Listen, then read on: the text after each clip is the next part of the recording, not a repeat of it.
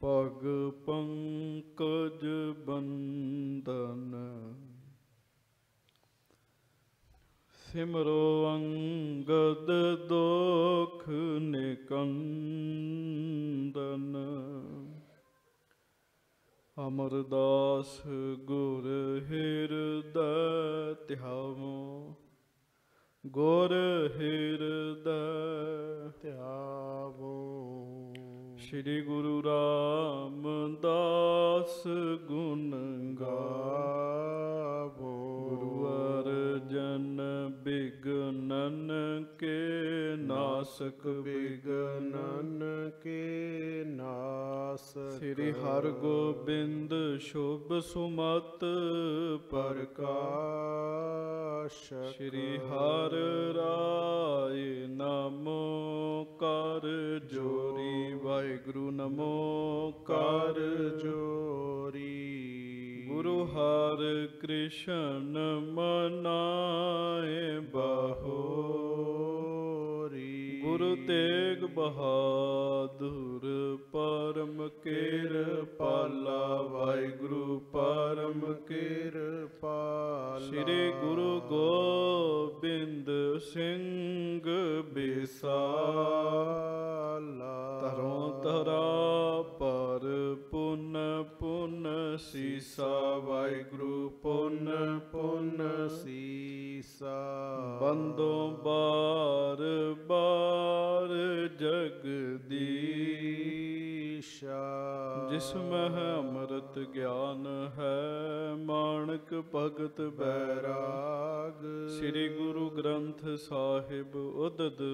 ਬੰਦੋਂ ਕਰ ਅਨੁਰਾਗ। ਏਕ ਓੰਕਾਰਾ ਸਤਿਗੁਰੂ ਤਿਹ ਪ੍ਰਸਾਦ ਸਚ ਹੋਏ। ਵਾਹਿਗੁਰੂ ਜੀ ਕੀ ਫਤਿਹ। ਬਿਗਨ ਬਿਨਾਸ਼ਨ ਸੋਏ। ਏਕ ਓੰਕਾਰਾ ਸਤਿਗੁਰੂ ਤਿਹ ਪ੍ਰਸਾਦ ਸਚ ਹੋਏ। ਵਾਹਿਗੁਰੂ ਜੀ ਕੀ ਫਤਿਹ। ਬਿਗਨ ਬਿਨਾਸ਼ਨ ਸੋਏ। ਸਤਨਾਮ ਸ੍ਰੀ ਵਾਹਿਗੁਰੂ ਸਾਹਿਬ ਜੀ ਚੌਪਈ। ਅਨਕ ਅਕੋਰਨ ਕੇ ਅੰਬਾਰੇ। ਹੋਤ ਜਾਤ ਹੈ ਗੁਰੂ ਅਗਾਰੇ, ਕਰ ਜੁਗ ਜੋਰ ਜੋਰ ਚਹੂ ਓਰ, ਜਾਂਚੈ ਰਾਚੈ ਚਰਨ ਨਿਹੋਰ, ਅਨਕ ਅਕੋਰਨ ਕੇ ਅੰਬਾਰੇ। ਸੱਚੇ ਪਾਤਸ਼ਾਹ ਗਰੀਬ ਨਵਾਜ ਦੀਨ ਦੁਨੀਆ ਦੇ ਮਾਲਕ, ਜਬਰ ਛਤਰ ਤਖਤ ਦੇ ਮਾਲਕ, ਸਮਰੱਥ ਗੁਰੂ, ਪ੍ਰਤਖ ਗੁਰੂ। ਦੀਨ ਦਿਆਲ, ਕਿਰਪਾਲ, ਅੰਤਰਯਾਮੀ, ਪੂਰਨ ਪਾਰ ਬ੍ਰਹਮ ਪਰਮੇਸ਼ਰ। ਵਾਹਿਗੁਰੂ।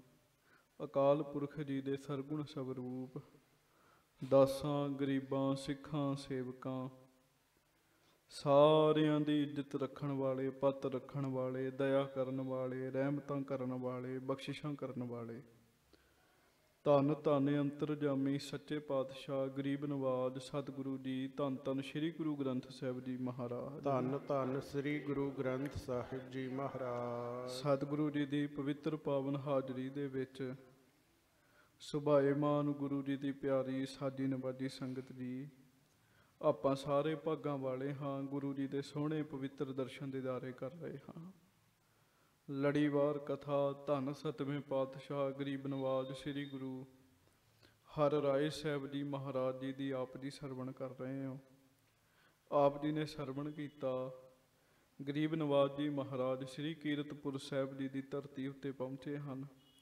ਲੰਮੇ ਸਮੇਂ ਬਾਅਦ ਮਹਾਰਾਜ ਕੀਰਤਪੁਰ ਸਾਹਿਬ ਜੀ ਦੀ ਧਰਤੀ ਉੱਤੇ ਪਹੁੰਚੇ।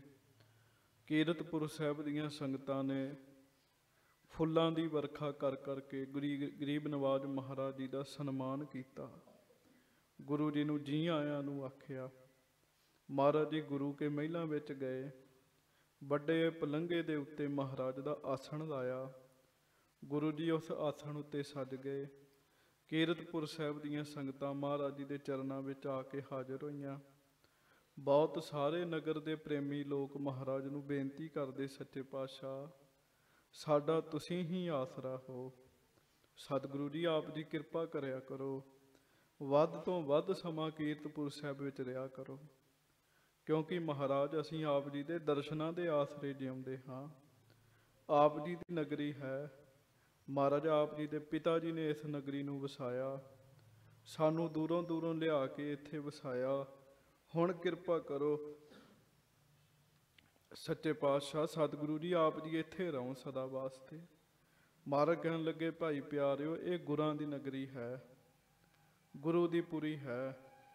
ਤੁਸੀਂ ਭਾਗਾਂ ਵਾਲੇ ਹੋ, ਗੁਰੂ ਜੀ ਦੀ ਨਗਰੀ ਦੇ ਵਿੱਚ ਰਹਿ ਰਹੇ ਹੋ। ਭਾਈ ਵਾਹਿਗੁਰੂ ਵਾਹਿਗੁਰੂ ਜਪ ਕੇ, ਨਾਮ ਜਪ ਕੇ, ਬਹੁਤਾ ਜਿਹੜਾ ਸਮਾਂ ਹੈ, ਉਹਨੂੰ ਸਫਲਾ ਕਰਿਆ ਕਰੋ। ਨਾਮ ਜਪ ਕੇ, ਵਾਹਿਗੁਰੂ ਵਾਹਿਗੁਰੂ ਜਪ ਕੇ ਤੁਸੀਂ ਆਪਣੇ ਸਾਰੇ ਵਿਗਨ ਦੂਰ ਕਰ ਲਓ ਜੀ। ਕੋਈ ਵੀ ਸਿੱਖ ਹੈ, ਖਾਸ ਕਰਕੇ ਉਹ ਗੁਰੂ ਦੇ ਪਿਆਰੇ, ਜਿਹੜੇ ਗੁਰੂਆਂ ਦੀਆਂ ਵਸਾਈਆਂ ਹੋਈਆਂ ਨਗਰੀਆਂ ਦੇ ਵਿੱਚ ਰਹਿ ਰਹੇ ਹਨ, ਉਹਨਾਂ ਦੇ ਬੜੇ ਵੱਡੇ ਭਾਗ ਹਨ ਜੀ। ਕੋਈ ਸ੍ਰੀ ਤਰਨਤਾਰਨ ਸਾਹਿਬ ਰਹਿੰਦਾ ਹੈ, ਕੋਈ ਸ੍ਰੀ ਮੁਕਤਸਰ ਸਾਹਿਬ ਰਹਿੰਦਾ ਹੈ, ਕੋਈ ਸਾਧ ਸੰਗਤ ਜੀ ਸ੍ਰੀ ਕਰਤਾਰਪੁਰ ਸਾਹਿਬ ਰਹਿੰਦਾ ਹੈ ਸ੍ਰੀ ਅਨੰਦਪੁਰ ਸਾਹਿਬ ਰਹਿੰਦਾ ਹੈ, ਕੀਰਤਪੁਰ ਸਾਹਿਬ ਰਹਿੰਦਾ ਹੈ। ਬੇਅੰਤ ਪਿੰਡ, ਨਗਰ ਸਤਿਗੁਰਾਂ ਨੇ ਵਸਾਏ ਹਨ ਜੀ। ਔਰ ਉਹਨਾਂ ਵਿੱਚੋਂ ਵੀ ਅੰਮ੍ਰਿਤਸਰ ਦੀ ਤੇ ਬਹੁਤੀ ਵੱਡੀ ਖੇਡ ਹੈ। ਇਸ ਸਾਰੇ ਸੰਸਾਰ ਦੇ ਵਿੱਚੋਂ ਸਭ ਤੋਂ ਵਧੀਆ ਤੇ ਪਵਿੱਤਰ ਧਰਤੀ ਪੰਜਾਬ ਦੀ ਹੈ। ਪੂਰੇ ਪੰਜਾਬ ਵਿੱਚੋਂ ਸਭ ਤੋਂ ਵਧੀਆ ਨਗਰੀ ਸ੍ਰੀ ਅੰਮ੍ਰਿਤਸਰ ਸਾਹਿਬ ਹੈ। ਤੇ ਸ੍ਰੀ ਅੰਮ੍ਰਿਤਸਰ ਸਾਹਿਬ ਵਿੱਚੋਂ ਸਭ ਤੋਂ ਵਧੀਆ ਅਸਥਾਨ ਸੱਚਖੰਡ ਸ੍ਰੀ ਹਰਮੰਦਰ ਸਾਹਿਬ ਹੈ। ਸਾਰੀ ਦੁਨੀਆ ਦਾ ਸਿਰਮੌਰ ਅਸਥਾਨ ਜਿਹੜਾ ਹੈ, ਉਹ ਸੱਚਖੰਡ ਸ੍ਰੀ ਹਰਮੰਦਰ ਸਾਹਿਬ ਹੈ। ਜਦੋਂ ਦੇਸ਼ਾਂ ਵਿਦੇਸ਼ਾਂ ਵਿੱਚ ਅੰਮ੍ਰਿਤਸਰ ਦੇ ਗੁਰੂ ਦੇ ਸਿੱਖ ਜਾ ਕੇ ਵਿਚਰਦੇ ਆ, ਸ੍ਰੀ ਅੰਮ੍ਰਿਤਸਰ ਸਾਹਿਬ ਜੀ ਦਾ ਨਾਮ ਲੈਂਦੇ ਹਨ। ਤੇ ਬਹੁਤ ਸਾਰੇ ਸਿੱਖਾਂ ਦਾ, ਸ਼ਹਿਰ ਦਾ ਨਾਮ ਸੁਣ ਕੇ ਸਿਰ ਝੁਕ ਜਾਂਦਾ ਹੈ। ਵੀ ਤੁਸੀਂ ਭਾਗਾਂ ਵਾਲੇ ਹੋ, ਗੁਰੂ ਜੀ ਦੀ ਨਗਰੀ ਵਿੱਚ ਰਹਿ ਰਹੇ ਹੋ। ਬੜੇ ਪਿੰਡ ਨਿਆਣਿਆਂ ਨੂੰ ਬਾਹਰ ਚੁੱਪ ਕਰਾਓ, ਬੜਾ ਸਖਤੀ ਨਾਲ ਕਹਿ ਕੇ ਆਓ, ਇਹਨਾਂ ਦਾ ਰੋਜ਼ ਦਾ ਹੀ ਕੰਮ ਹੈ। ਮਹਾਰਾਜ ਸੱਚੇ ਪਾਤਸ਼ਾਹ ਕਹਿਣ ਲੱਗੇ, ਤੁਸੀਂ ਗੁਰੂ ਦੀ ਨਗਰੀ ਵਿੱਚ ਹੋ। ਗੁਰੂ ਦੀ ਨਗਰੀ ਵਿੱਚ ਰਹਿਣ ਵਾਲੇ ਨੂੰ ਨਾਮ ਜਪ ਜਪ ਕੇ ਸਾਰੇ ਵਿਗਨ ਦੂਰ ਕਰ ਲੈਣੇ ਚਾਹੀਦੇ ਹਨ ਜੀ। ਸੋ ਗੁਰੂ ਸਾਹਿਬ ਨੇ ਸਾਡੇ ਤੇ ਕਿਰਪਾ ਕੀਤੀ ਬਖਸ਼ਿਸ਼ ਕੀਤੀ ਹੈ ਗੁਰਾਂ ਦੀ ਨਗਰੀ ਵਿੱਚ ਰਹਿਣ ਦਾ ਸਾਨੂੰ ਵੀ ਮੌਕਾ ਬਖਸ਼ਿਸ਼ ਕੀਤਾ ਕਹੋ ਪ੍ਰੇਮ ਨਾਲ ਸਾਰੇ ਸ੍ਰੀ ਵਾਹਿਗੁਰੂ ਵਾਹਿਗੁਰੂ ਫਿਰ ਕਹੋ ਵਾਹਿਗੁਰੂ ਵਾਹਿਗੁਰੂ ਵਾਹਿਗੁਰੂ ਵਾਹਿਗੁਰੂ ਵਾਹਿਗੁਰੂ ਵਾਹਿਗੁਰੂ ਵਾਹਿਗੁਰੂ ਵਾਹਿਗੁਰੂ ਵਾਹਿਗੁਰੂ ਵਾਹਿਗੁਰੂ ਵਾਹਿਗੁਰੂ ਵਾਹਿਗੁਰੂ ਵਾਹਿਗੁਰੂ ਵਾਹਿਗੁਰੂ ਵਾਹਿਗੁਰੂ ਵਾਹਿਗੁਰੂ ਹਜੂਰ ਮਹਾਰਾਜ ਸੱਚੇ ਪਾਤਸ਼ਾਹ ਜੀ ਨੇ ਬਚਨ ਕੀਤੇ। ਮਹਾਰਾਜ ਸ੍ਰੀ ਕੀਰਤਪੁਰ ਸਾਹਿਬ ਸੱਜੇ ਹਨ। ਬਹੁਤ ਦੂਰੋਂ ਦੂਰੋਂ ਸੰਗਤਾਂ ਸਤਿਗੁਰੂ ਜੀ ਦੇ ਚਰਨਾਂ ਵਿੱਚ ਆ ਕੇ ਹਾਜ਼ਰ ਹੋ ਰਹੀਆਂ ਹਨ। ਗੁਰੂ ਸਾਹਿਬ ਮਹਾਰਾਜ ਜੀ ਦੇ ਚਰਨਾਂ ਵਿੱਚ ਸੰਗਤਾਂ ਹਾਜ਼ਰ ਹੋ ਰਹੀਆਂ ਹਨ। ਬਹੁਤ ਸੁੱਖ ਜਿਹੜਾ ਹੈ, ਉਹ ਵਰਤ ਰਿਹਾ ਹੈ। ਤੇ ਬੜੀ ਬੜੀ ਦੂਰੋਂ ਵਿਸਾਖੀ ਤੇ ਦੀਵਾਲੀ ਤੇ ਬੜੀ ਬੜੀ ਦੂਰੋਂ ਗੁਰੂ ਜੀ ਦੀਆਂ ਸੰਗਤਾਂ ਮਹਾਰਾਜ ਸੱਚੇ ਪਾਤਸ਼ਾਹ ਜੀ ਦੇ ਚਰਨਾਂ ਵਿੱਚ ਆ ਕੇ ਹਾਜ਼ਰ ਹੁੰਦੀਆਂ ਹਨ। ਕੋਈ ਕੁਝ ਮੰਗਦਾ ਹੈ, ਕੋਈ ਕੁਝ ਮੰਗਦਾ ਹੈ। ਜੋ ਵੀ ਕੋਈ ਗੁਰੂ ਜੀ ਦੇ ਚਰਨਾਂ ਵਿੱਚ ਆ ਕੇ ਮੰਗਦਾ ਹੈ, ਗੁਰੂ ਸਾਹਿਬ ਉਹਨੂੰ ਉਹ ਵਸਤੂਆਂ, ਉਹ ਦਾਤਾਂ ਬਖਸ਼ ਕੇ ਨਿਹਾਲ ਕਰ ਦਿੰਦੇ ਹਨ। ਕੋਈ ਕਹਿੰਦਾ, ਮਹਾਰਾਜ, ਮੇਰਾ ਰੋਗ ਠੀਕ ਹੋ ਜਾਏ। ਕੋਈ ਕਹਿੰਦਾ, ਮਹਾਰਾਜ, ਮੈਨੂੰ ਨਾਮ ਦੀ ਦਾਤ ਮਿਲੇ। ਕੋਈ ਕਹਿੰਦਾ ਮਹਾਰਾਜ ਮੇਰੇ ਤੇ ਵੈਸੇ ਹੀ ਕਿਰਪਾ ਹੋਵੇ ਧਨ ਬਹੁਤ ਆਵੇ। ਗੁਰੂ ਜੀ ਦੀ ਕਿਰਪਾ ਨਾਲ ਸਭ ਕੁਝ ਉਹ ਹੁੰਦਾ ਹੈ ਜੋ ਕੋਈ ਆ ਕੇ ਮੰਗਦਾ ਹੈ। ਮਹਾਰਾਜ ਬਾਣੀ ਵਿੱਚ ਕਿਰਪਾ ਕਰਦੇ ਹਨ ਜਿਤੜੇ ਫਲ ਮਨ ਬਾਂਛੀਆ ਹੈ ਤਿਤੜੇ ਸਤਿਗੁਰ ਪਾਸ। ਜਿੰਨੇ ਕੋਈ ਆ ਕੇ ਮੰਗਦਾ ਹੈ ਉਸੇ ਤਰ੍ਹਾਂ ਦਾ ਹੀ ਫਲ ਗੁਰਾਂ ਗੁਰੂ ਸਾਹਿਬ ਜੀ ਦੇ ਕੋਲ ਹਨ ਜੀ। ਸੋ ਆਓ ਬੜੇ ਪਿਆਰ ਦੇ ਨਾਲ ਸਾਰੀ ਸੰਗਤ ਹੁਣ ਕਥਾ ਵਿੱਚ ਸੁਰਤੀਆਂ ਜੋੜੋ। ਸਭ ਸੰਗਤ ਗੱਜ ਕੇ ਆਖੋ ਸਤਨਾਮ। ਸ੍ਰੀ ਵਾਹਿਗੁਰੂ ਸਾਹਿਬ ਜੀ। ਹਾਂਜੀ। ਸਤਨਾਮ ਸ੍ਰੀ ਵਾਹਿਗੁਰੂ ਸਾਹਿਬ ਜੀ ਚੌਪਈ। ਅਨੇਕ ਅਕੋਰਨ ਕੇ ਅੰਬਾਰੇ। ਧੰਨ ਗਰੀਬ ਨਵਾਜ ਸ੍ਰੀ ਗੁਰੂ ਹਰਿਰਾਏ ਸਾਹਿਬ ਜੀ ਸ੍ਰੀ ਕੀਰਤਪੁਰ ਸਾਹਿਬ ਜੀ ਦੀ ਧਰਤੀ ਉੱਤੇ ਬੈਠੇ ਹਨ ਸੱਜੇ ਹਨ। ਪੇਟਾਵਾਂ ਚੜਾਉਣ ਵਾਲਿਆਂ ਦੀ ਕਮੀ ਨਹੀਂ ਕੋਈ ਹੈਗੀ ਜੀ। ਕਮੀ ਨਹੀਂ ਕੋਈ ਹੈਗੀ। ਅੰਬਾਰ ਅੰਬਾਰ ਕਹਿੰਦੇ ਪਹਾੜ ਨੂੰ ਜੀ ਇੰਨੀਆਂ ਜ਼ਿਆਦੀਆਂ ਵਸਤੂਆਂ ਗੁਰੂ ਜੀ ਨੂੰ ਚੜਦੀਆਂ ਵੀ ਢੇਰ ਹੀ ਲੱਗੇ ਪਏ, ਢੇਰ ਹੀ ਲੱਗੇ ਪਏ ਜੀ। ਗੁਰੂ ਸਾਹਿਬ ਸੰਗਤ ਜੀ ਬਹੁਤ ਵੱਡੇ ਨੇ, ਬਹੁਤ ਵੱਡੇ ਆ। ਅਸੀਂ ਕੁਝ ਵੀ ਨਹੀਂ ਹੈਗੇ ਤੇ ਸੰਗਤ ਇੰਨਾ ਕੁਝ ਦਿੰਦੀ ਵੀ ਸੰਭਿਆ ਨਹੀਂ ਜਾਂਦਾ ਜੀ। ਸੰਭਿਆ ਨਹੀਂ ਜਾਂਦਾ। ਕਦੀ ਕਿਸੇ ਨੁੱਕਰ ਚਵਾੜੀ ਦਾ, ਕਦੀ ਕਿਸੇ ਚਵਾੜੀ ਦਾ। ਕਦੀ ਕਿਸੇ ਸਿੰਘ ਨੂੰ ਦਈਦਾ, ਕਦੀ ਕਿਸੇ ਨੂੰ ਦਈਦਾ। ਬਹੁਤ ਕੁਝ ਗੁਰੂ ਜੀ ਦੇ ਨਾਮ ਨੂੰ ਮਿਲਦਾ ਜੀ। ਗੁਰੂ ਸਾਹਿਬ ਜੀ ਦੇ ਚਰਨਾਂ ਵਿੱਚ ਢੇਰ ਹੀ ਲੱਗਾ ਰਹਿੰਦਾ ਜੀ। ਅਨਕ ਅਕੋਰਨ ਕੇ ਅੰਬਾਰੇ, ਅਨੇਕ ਅਕੋਰਾਂ ਵਸਤੂਆਂ ਦਾ ਢੇਰ ਲੱਗਾ ਰਹਿੰਦਾ ਹੈ। ਹੋਤ ਜਾਤ ਹੈ ਗੁਰੂ ਅਗਾਰੇ, ਮਹਾਰਾਜ ਦੇ ਅੱਗੇ ਢੇਰ ਲੱਗਾ ਰਹਿੰਦਾ ਜੀ। ਹਾਂਜੀ। ਕਰ ਜੁਗ ਜੋਰ ਜੋਰ ਚਹੂ ਔਰ ਗੁਰੂ ਦੇ ਸਿੱਖ ਹੱਥ ਜੋੜ ਜੋੜ ਕੇ ਖਲੋਤੇ ਰਹਿੰਦੇ ਚਾਰੇ ਪਾਸੇ ਜੀ। ਹਾਂਜੀ। ਜਾਚੈ ਰਾਚੈ ਚਰਨ ਨਿਹੋਰ। ਹਾਂ ਬੜੀਆਂ ਬੇਨਤੀਆਂ ਕਰ ਕਰਕੇ ਨਿਮਰਤਾ ਨਾਲ ਮਹਾਰਾਜ ਕੋਲੋਂ ਦਾਤਾਂ ਮੰਗਦੇ ਹਨ। ਬੜੇ ਪ੍ਰੀਤਵਾਨ ਹੋ ਹੋ ਕੇ ਬੜੀ ਨਿਮਰਤਾ ਨਾਲ ਵੇਖੋ ਮੰਗਣਾ ਵੀ ਬੜੀ ਨਿਮਰਤਾ ਨਾਲ ਚਾਹੀਦਾ ਜੀ ਸਤਿਗੁਰਾਂ ਦੇ ਕੋਲ ਜੀ। ਮਹਾਰਾਜ ਨੂੰ ਬੜੀ ਸਿਫਤਾਂ ਭਰੀ ਅਰਦਾਸ ਕਰਨੀ ਚਾਹੀਦੀ। ਮਨ ਤੇ ਧੋਖਾ ਤਾਂ ਲਹੇ ਜਾਂ ਸਿਫਤ ਕਰੀ ਅਰਦਾਸ। ਹਾਂਜੀ। ਕਬ ਕਬ ਕਿਰਪਾ ਦ੍ਰਿਸ਼ਟ ਕੋ ਡਾਰੈ। ਕਦੀ ਕਦੀ ਫਿਰ ਉਹਨਾਂ ਪਿਟਾਵਾਂ ਵੱਲ ਮਹਾਰਾਜ ਕਿਰਪਾ ਦ੍ਰਿਸ਼ਟੀ ਨਾਲ ਵੇਖਦੇ ਆ। ਹਾਂਜੀ। ਸਭ ਦਿਸ਼ ਸੰਗਤ ਖਰੀ ਨਿਹਾਰੈ। ਤੇ ਸੰਗਤਾਂ ਦੇ ਉੱਤੇ ਵੀ ਮਹਾਰਾਜ ਕਿਰਪਾ ਦੀ ਦ੍ਰਿਸ਼ਟੀ ਪਾਉਂਦੇ ਆ। ਮਿਹਰ ਕਰਦੇ ਹਨ ਬਖਸ਼ਿਸ਼ਾਂ ਕਰਦੇ ਹਨ। ਇੱਕ ਸੌ ਇੱਕ ਪਾਲਨ ਕੋ ਜਾਮਾ। ਹਰ ਰੋਜ਼ 100 ਤੇ ਇੱਕ ਕਲੀਆਂ ਵਾਲਾ ਚੋਲਾ। ਸੂਖਮ ਬਸਤਰ ਪਹਿਰ ਅਭਿਰਾਮਾ। ਜਿਹੜਾ ਬੜਾ ਸੁੰਦਰ ਤੇ ਕੋਮਲ ਕੱਪੜੇ ਦਾ ਬਣਿਆ ਹੋਇਆ ਜੀ। ਉਹ ਮਹਾਰਾਜ ਸੱਚੇ ਪਾਤਸ਼ਾਹ ਜੀ ਆਪਣੇ ਤਨ ਦੇ ਉੱਤੇ ਸਜਾਉਂਦੇ ਹਨ। ਬਾਣੇ ਦੇ ਨਾਲ ਗੁਰੂ ਹਰ ਰਾਏ ਸਾਹਿਬ ਜੀ ਦਾ ਬੜਾ ਪਿਆਰ। ਆਖੋ ਸ੍ਰੀ ਵਾਹਿਗੁਰੂ। ਆ ਹੁਣ ਰਾਗੀ ਸਿੰਘ ਸੂਟ ਪਾਉਂਦੇ ਆ ਚੋਲੇ ਪਾਉਂਦੇ ਆ। ਕਲੀ ਕੋਈ ਨਹੀਂ ਹੁੰਦੀ ਜੀ ਉਹਨੂੰ ਜੀ ਹਾਂਜੀ। ਕਲੀ ਕੋਈ ਨਹੀਂ ਹੁੰਦੀ ਜੀ। ਬਹੁਤ ਜ਼ਿਆਦਾ ਪਿਆਰ ਕਰਦੇ 101 ਕਲੀਆਂ ਵਾਲਾ ਮਹਾਰਾਜ ਜਾਮਾ ਪਾਉਂਦੇ ਸੱਚੇ ਪਾਤਸ਼ਾਹ। ਹਾਂਜੀ। ਬਹੁਤ ਮੋਲ ਕੋ ਲਲਿਤ ਦੁਕੂਲ ਡਾਰਿਓ ਰਹਿ ਦਿਹੀ ਭੁਜ ਮੂਲ। ਫਿਰ ਬਹੁਤ ਸੋਹਣਾ ਕੀਮਤੀ ਰੇਸ਼ਮ ਦਾ ਕਪੜਾ ਉਹ ਮਹਾਰਾਜ ਨੇ ਮੋਢਿਆਂ ਦੇ ਉੱਤੇ ਰੱਖਿਆ ਹੁੰਦਾ ਜੀ। ਕਈ ਰੱਖਦੇ ਨਾ ਲੋਈ ਤੈਅ ਕਰਕੇ ਮੋਢਿਆਂ ਦੇ ਉੱਤੇ ਰੱਖ ਲੈਂਦੇ। ਮਹਾਰਾਜ ਬਹੁਤ ਸੋਹਣਾ ਰੇਸ਼ਮੀ ਕਪੜਾ ਮੋਢਿਆਂ ਦੇ ਉੱਤੇ ਪਾ ਕੇ ਰੱਖਦੇ ਜੀ। ਹਾਂਜੀ। ਮੁਕਤਾਲਨ ਕੀ ਮਾਲ ਬਿਸਾਲਾ ਫਿਰ ਗਲ ਵਿੱਚ ਸੁੱਚੇ ਮੋਤੀਆਂ ਦੀਆਂ ਮਾਲਾ ਉਹ ਗੁਰੂ ਸਾਹਿਬ ਜੀ ਆਪਣੇ ਗਲ ਵਿੱਚ ਸਜਾਉਂਦੇ ਹਨ। ਉਜਲ ਗੋਲ ਦਿਪਤ ਦੁਤ ਜਾਲਾ।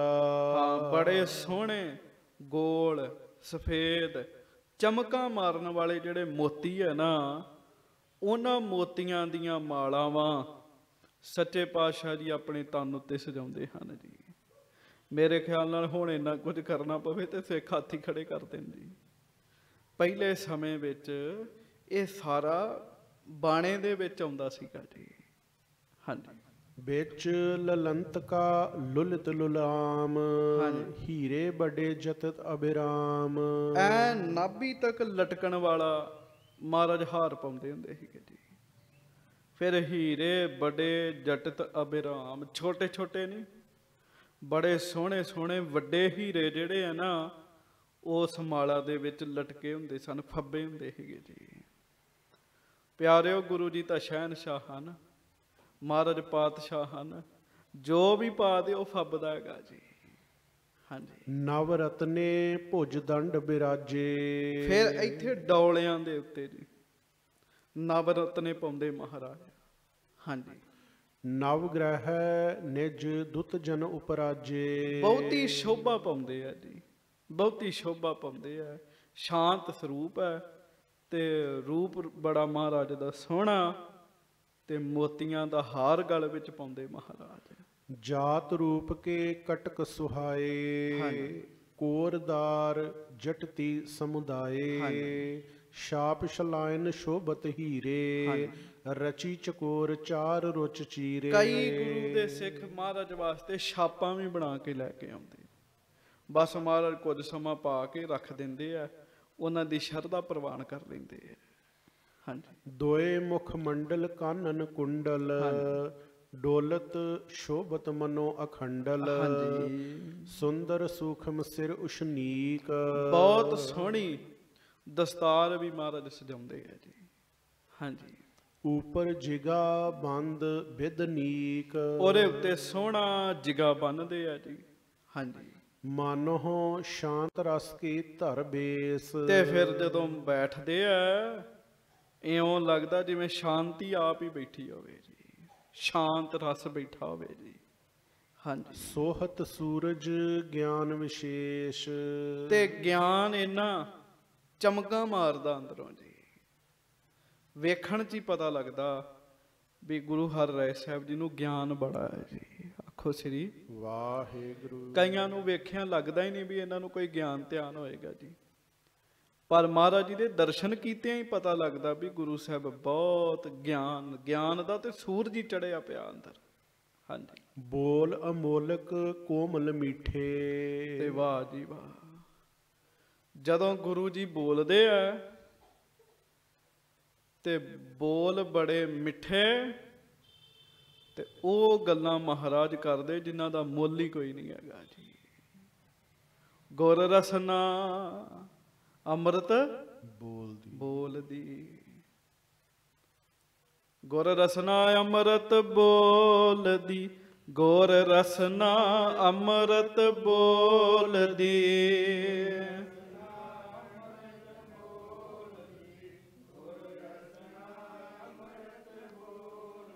ਗੁਰ ਰਸਨਾ ਅੰਮ੍ਰਿਤ ਬੋਲਦੀ ਗੁਰ ਰਸਨਾ ਅੰਮ੍ਰਿਤ ਬੋਲਦੀ ਗੁਰ ਰਸਨਾ ਅੰਮ੍ਰਿਤ ਬੋਲਦੀ ਕਈ ਬੋਲਦੇ ਠੰਡ ਪਾਉਂਦੇ ਆ ਜੀ। ਕਈ ਬੋਲਦੇ ਗੁੱਸਾ ਚੜਾ ਦਿੰਦੇ ਆ ਜੀ। ਕਈਆਂ ਦੇ ਬੋਲ ਬੜੇ ਮਿੱਠੇ ਲੱਗਦੇ ਆ। ਬੋਲ ਅਮੋਲਕ ਕੋਮਲ ਮੀਠੇ। ਮਹਾਰਾਜ ਬਚਨ ਬੋਲਦੇ ਬੜੇ ਅਮੋਲਕ ਬੜੇ ਮਿੱਠੇ ਮਨ ਨੂੰ ਚੰਗੇ ਲੱਗਣ ਵਾਲੇ। ਹਾਂਜੀ। ਮੁਖ ਤੇ ਨਿਕਸਤ ਚਿਤ ਕੋ ਈਠੇ। ਫਿਰ ਮਹਾਰਾਜ ਗਰੀਬ ਨਵਾਜ ਆਪਣੇ ਮੁਖੋਂ ਜਦੋਂ ਬਚਨ ਕੱਢਦੇ ਤਾਂ ਸਾਰਿਆਂ ਨੂੰ ਚੰਗੇ ਬੜੇ ਲੱਗਦੇ ਜੀ। ਮਹਾਰਾਜ ਬਾਣੀ ਚ ਕਹਿੰਦੇ ਕੋਮਲ ਬਾਣੀ ਸਭ ਕੋ ਸੰਤੋਖ ਹੈ। ਆਖੋ ਸ੍ਰੀ ਵਾਹਿਗੁਰੂ। ਵਾਹਿਗੁਰੂ। ਮਿੱਠਾ ਬੋਲ ਬੋਲੋ ਸਭ ਨੂੰ ਚੰਗਾ ਲੱਗਦਾ ਜੀ। ਹਾਂਜੀ। ਕਮਲ ਪਾਂਖੁਰੀ ਆਂਖ ਬਿਸਾਲਾ ਫਿਰ ਮਹਾਰਾਜ ਦੇ ਸਰੂਪ ਦੇ ਦਰਸ਼ਨ ਕਰੋ ਗੁਰੂ ਹਰਿ ਸਾਹਿਬ ਦੇ। ਕਹਿੰਦੇ ਕਮਲ ਦੀਆਂ ਪਖੜੀ ਪੰਖੜੀਆਂ ਜਿਹੜੀਆਂ ਹੁੰਦੀਆਂ ਜਿਵੇਂ ਕਮਲ ਦੇ ਪੱਤੇ ਹੁੰਦੇ ਆ ਚੌੜੇ ਸੋਹਣੇ ਤਿੱਖੇ ਤਿੱਖੇ ਹੁੰਦੇ ਆ ਕਈ। ਬੜੇ ਤਿੱਖੇ ਬੜੇ ਸੋਹਣੇ ਬਣੇ ਹੁੰਦੇ ਆ। ਐਸੇ ਮਹਾਰਾਜ ਦੇ ਨੇਤਰ ਨੇ ਗੁਰੂ ਹਰਿ ਸਾਹਿਬ ਦੇ। ਐਸੇ ਨੇਤਰ ਨੇ ਗੁਰੂ ਜੀ ਦੇ। ਹਾਂਜੀ। ਕਿਰਪਾ ਭਰੀ ਤੇ ਪਿਖਹਿ ਕਿਰਪਾਲਾ। ਪਰ ਕਮਲ ਦੀਆਂ ਪੰਖੜੀਆਂ ਵਿੱਚ ਵੀ ਕਿਰਪਾ ਨਹੀਂ ਤੇ ਵਸੀ ਹੁੰਦੀ। ਗੁਰੂ ਹਰਿ ਸਾਹਿਬ ਦੇ ਨੇਤਰਾਂ 'ਚ ਕਿਰਪਾ ਵਸੀ ਹੋਈ ਹੈ। ਕਿਰਪਾ ਭਰੀ ਤੇ ਪਿਖਹਿ ਕਿਰਪਾਲਾ। ਕਿਰਪਾਲੂ ਸੱਚੇ ਪਾਤਸ਼ਾਹ ਐ ਮੇਰ ਦੀ ਨਿਗਾਹ ਨਾਲ ਫਿਰ ਸਭ ਵੱਲ ਵੇਖਦੇ ਆ। ਹਾਂਜੀ। ਗਰ ਸ਼ਮਸ਼ੇਰ ਧਰੀ ਖਰ ਧਾਰਾ। ਫਿਰ ਗਲ ਵਿੱਚ ਸੋਹਣੀ ਵੱਡੀ ਸ਼ਮਸ਼ੇਰ ਸਤਿਗੁਰਾਂ ਗੁਰੂ ਹਰਿ ਸਾਹਿਬ ਜੀ ਨੇ ਸ੍ਰੀ ਸਾਹਿਬ ਧਾਰਨ ਕੀਤੀ ਹੈ। ਜਟਤ ਜਵਾਹਰ ਮੁਸ਼ਟ ਸੁਧਾਰਾ। ਜਿਹਦੀ ਮੁੱਠ ਜਿਹੜੀ ਆ ਸੁਧਾਰ ਕੇ ਹੀਰੇ ਤੇ ਜਵਾਹਰਾਤਾਂ ਨਾਲ ਜੜੀ ਹੈ ਜੀ। ਜੇ ਕੋਈ ਸਿੰਘ ਇਹਨਾਂ ਗੱਲਾਂ ਦਾ ਸ਼ੌਕੀਨ ਹੋਵੇ ਤੇ ਉਹਨੂੰ ਪਤਾ ਹੁੰਦਾ ਸੋਨੇ ਦੀ ਮੁੱਠ ਵਿੱਚ ਹੀਰੇ ਜੜੇ ਹੁੰਦੇ ਆ। ਮਹਾਰਾਜੇ ਰਣਜੀਤ ਸਿੰਘ ਦੀਆਂ ਸ੍ਰੀ ਸਾਹਿਬਾਂ ਦੇ ਤਖਤ ਸ੍ਰੀ ਹਜੂਰ ਸਾਹਿਬ ਦਰਸ਼ਨ ਕਰਾਉਂਦੇ ਆ। ਉਹ ਸੋਨੇ ਦੇ ਮੁੱਠੇ ਆ ਵਿੱਚ ਹੀਰੇ ਜੜੇ ਹੋਏ ਆ ਜੀ। ਹੀਰੇ ਜੜੇ ਹੋਏ ਜੀ। ਐਸਾ ਮਹਾਰਾਜ ਜੀ ਦੀ ਤਲਵਾਰ ਦਾ ਮੁੱਠਾ ਹੁੰਦਾ ਜੀ। ਹਾਂਜੀ। ਸਰ ਤੀਖਨ ਭੀਖਨ ਤੇ ਭਰਿਓ। ਫਿਰ ਪੱਥਰ ਮਹਾਰਾਜ ਲਾਉਂਦੇ ਆ। ਜਿਹੜਾ ਪੱਥਾ ਤਿੱਖੇ ਤੀਰਾਂ ਨਾਲ ਭਰਿਆ ਰਹਿੰਦਾ ਜੀ। ਤਰਕਸ਼ ਮੁਕਤਾ ਗੁੱਛਨ ਜਰਿਓ ਤੇ ਫਿਰ ਕਮਾਨ ਨੂੰ ਕਮਾਨ ਨੂੰ ਨਾ ਇੱਕ ਸਾਈਡ ਤੇ ਮੋਤੀਆਂ ਦਾ ਗੁੱਛਾ ਲਟਕਾਇਆ ਮਹਾਰਾਜ ਨੇ। ਜਿਹੜਾ ਸਤਿਗੁਰਾਂ ਦਾ ਕਮਾਨ ਹੈ ਧਨੁਸ਼ ਹੈ ਉਹਨੂੰ ਮੋਤੀਆਂ ਦਾ ਗੁੱਛਾ ਲਾਇਆ ਸਤਿਗੁਰਾਂ ਨੇ। ਵੇਖੋ ਕਵੀ ਸੰਤੋਖ ਸਿੰਘ ਜੀ ਨੇ ਕਿੰਨੇ ਡੂੰਘੇ ਜਾ ਕੇ ਮਹਾਰਾਜ ਦੇ ਦਰਸ਼ਨ ਕੀਤੇ ਹੈ। ਕਿੰਨੇ ਡੂੰਘੇ ਜਾ ਕੇ ਜੀ। ਇੱਕ ਵਾਰੀ ਅਸੀਂ ਸਾਰੇ ਪਲਾਹ ਸਾਹਿਬ ਗਏ ਉੱਥੇ ਕਿਸੇ ਸਿੰਘ ਦੇ ਘਰ ਸਮਾਗਮ ਸੀ ਗੁਰਦੁਆਰਾ ਪਲਾਹ ਸਾਹਿਬ ਗਏ ਸਾਰੇ ਜੀ, ਦਰਸ਼ਨ ਕਰਨੇ ਦਰਸ਼ਨ ਕਰਨੇ ਦਰਸ਼ਨ ਕਰਨੇ, ਦਰਸ਼ਨ ਕਰ ਲਏ ਜੀ ਸਾਰਿਆਂ ਨੇ। ਤੇ ਆ ਆ ਕੇ ਕਮਰੇ 'ਚ ਬੈਠੇ ਇੱਥੇ ਸਾਰੇ ਅਸੀਂ। 10 12 ਜਣੇ ਹੋਣੇ ਜੀ, ਵੱਧ ਹੀ ਹੋਣੇ ਆ। ਤੇ ਦਾਸ ਨੇ ਸਾਰਿਆਂ ਨੂੰ ਪੁੱਛਿਆ ਵੀ ਤੁਸੀਂ ਪਲਾਹ ਸਾਹਿਬ ਦਰਸ਼ਨ ਕਰਕੇ ਆਏ ਤੇ ਗੁਰੂ ਗ੍ਰੰਥ ਸਾਹਿਬ ਜੀ ਦੇ। ਦੱਸੋ ਮਹਾਰਾਜ ਨੇ ਕਿਹੜੇ ਰੰਗ ਦਾ ਰੁਮਾਲਾ ਪਾਇਆ ਸੀਗਾ? ਕਿਸੇ ਨੇ ਦੱਸਿਆ ਹੀ ਨਹੀਂ ਜੀ ਆਕੋ ਵਾਹਿਗੁਰੂ। ਦੱਸਿਆ ਹੀ ਨਹੀਂ ਜੀ, ਨਾ ਹੁਕਮਨਾਮੇ ਦਾ ਹੀ ਪਤਾ। ਤੇ ਨਾ ਇਹ ਪਤਾ ਵੀ ਰੁਮਾਲਾ ਸਾਹਿਬ ਕਿਹੜੇ ਰੰਗ ਦਾ ਸੱਜਿਆ ਹੋਇਆ ਸੀਗਾ। ਪੁੱਛਾਂ ਮੈਂ ਸਭ ਨੂੰ ਵੀ ਦਰਸ਼ਨ ਕੀਤੇ ਸੀ ਮਹਾਰਾਜ? ਦੇ ਹਾਂਜੀ ਹਾਂਜੀ ਜੀ, ਕੀਤੇ ਕਿਉਂ ਨਹੀਂ? ਦਰਸ਼ਨ ਕਰਨੀ ਤੇ ਗਏ ਸਾਂ ਕਹਿੰਦੇ ਤੇ ਸਰੋਪੇ ਗਲਾਂ ਚ ਪਵਾ ਕੇ ਤੇ ਵਾਪਸ ਘਰ ਆ ਗਏ। ਇਹ ਪਤਾ ਹੀ ਨਹੀਂ ਵੀ ਸਤਿਗੁਰਾਂ ਨੇ ਰੁਮਾਲਾ ਸਾਹਿਬ ਕਿਹੜੇ ਰੰਗ ਦਾ ਸਜਾਇਆ ਜੀ। ਹਾਂਜੀ।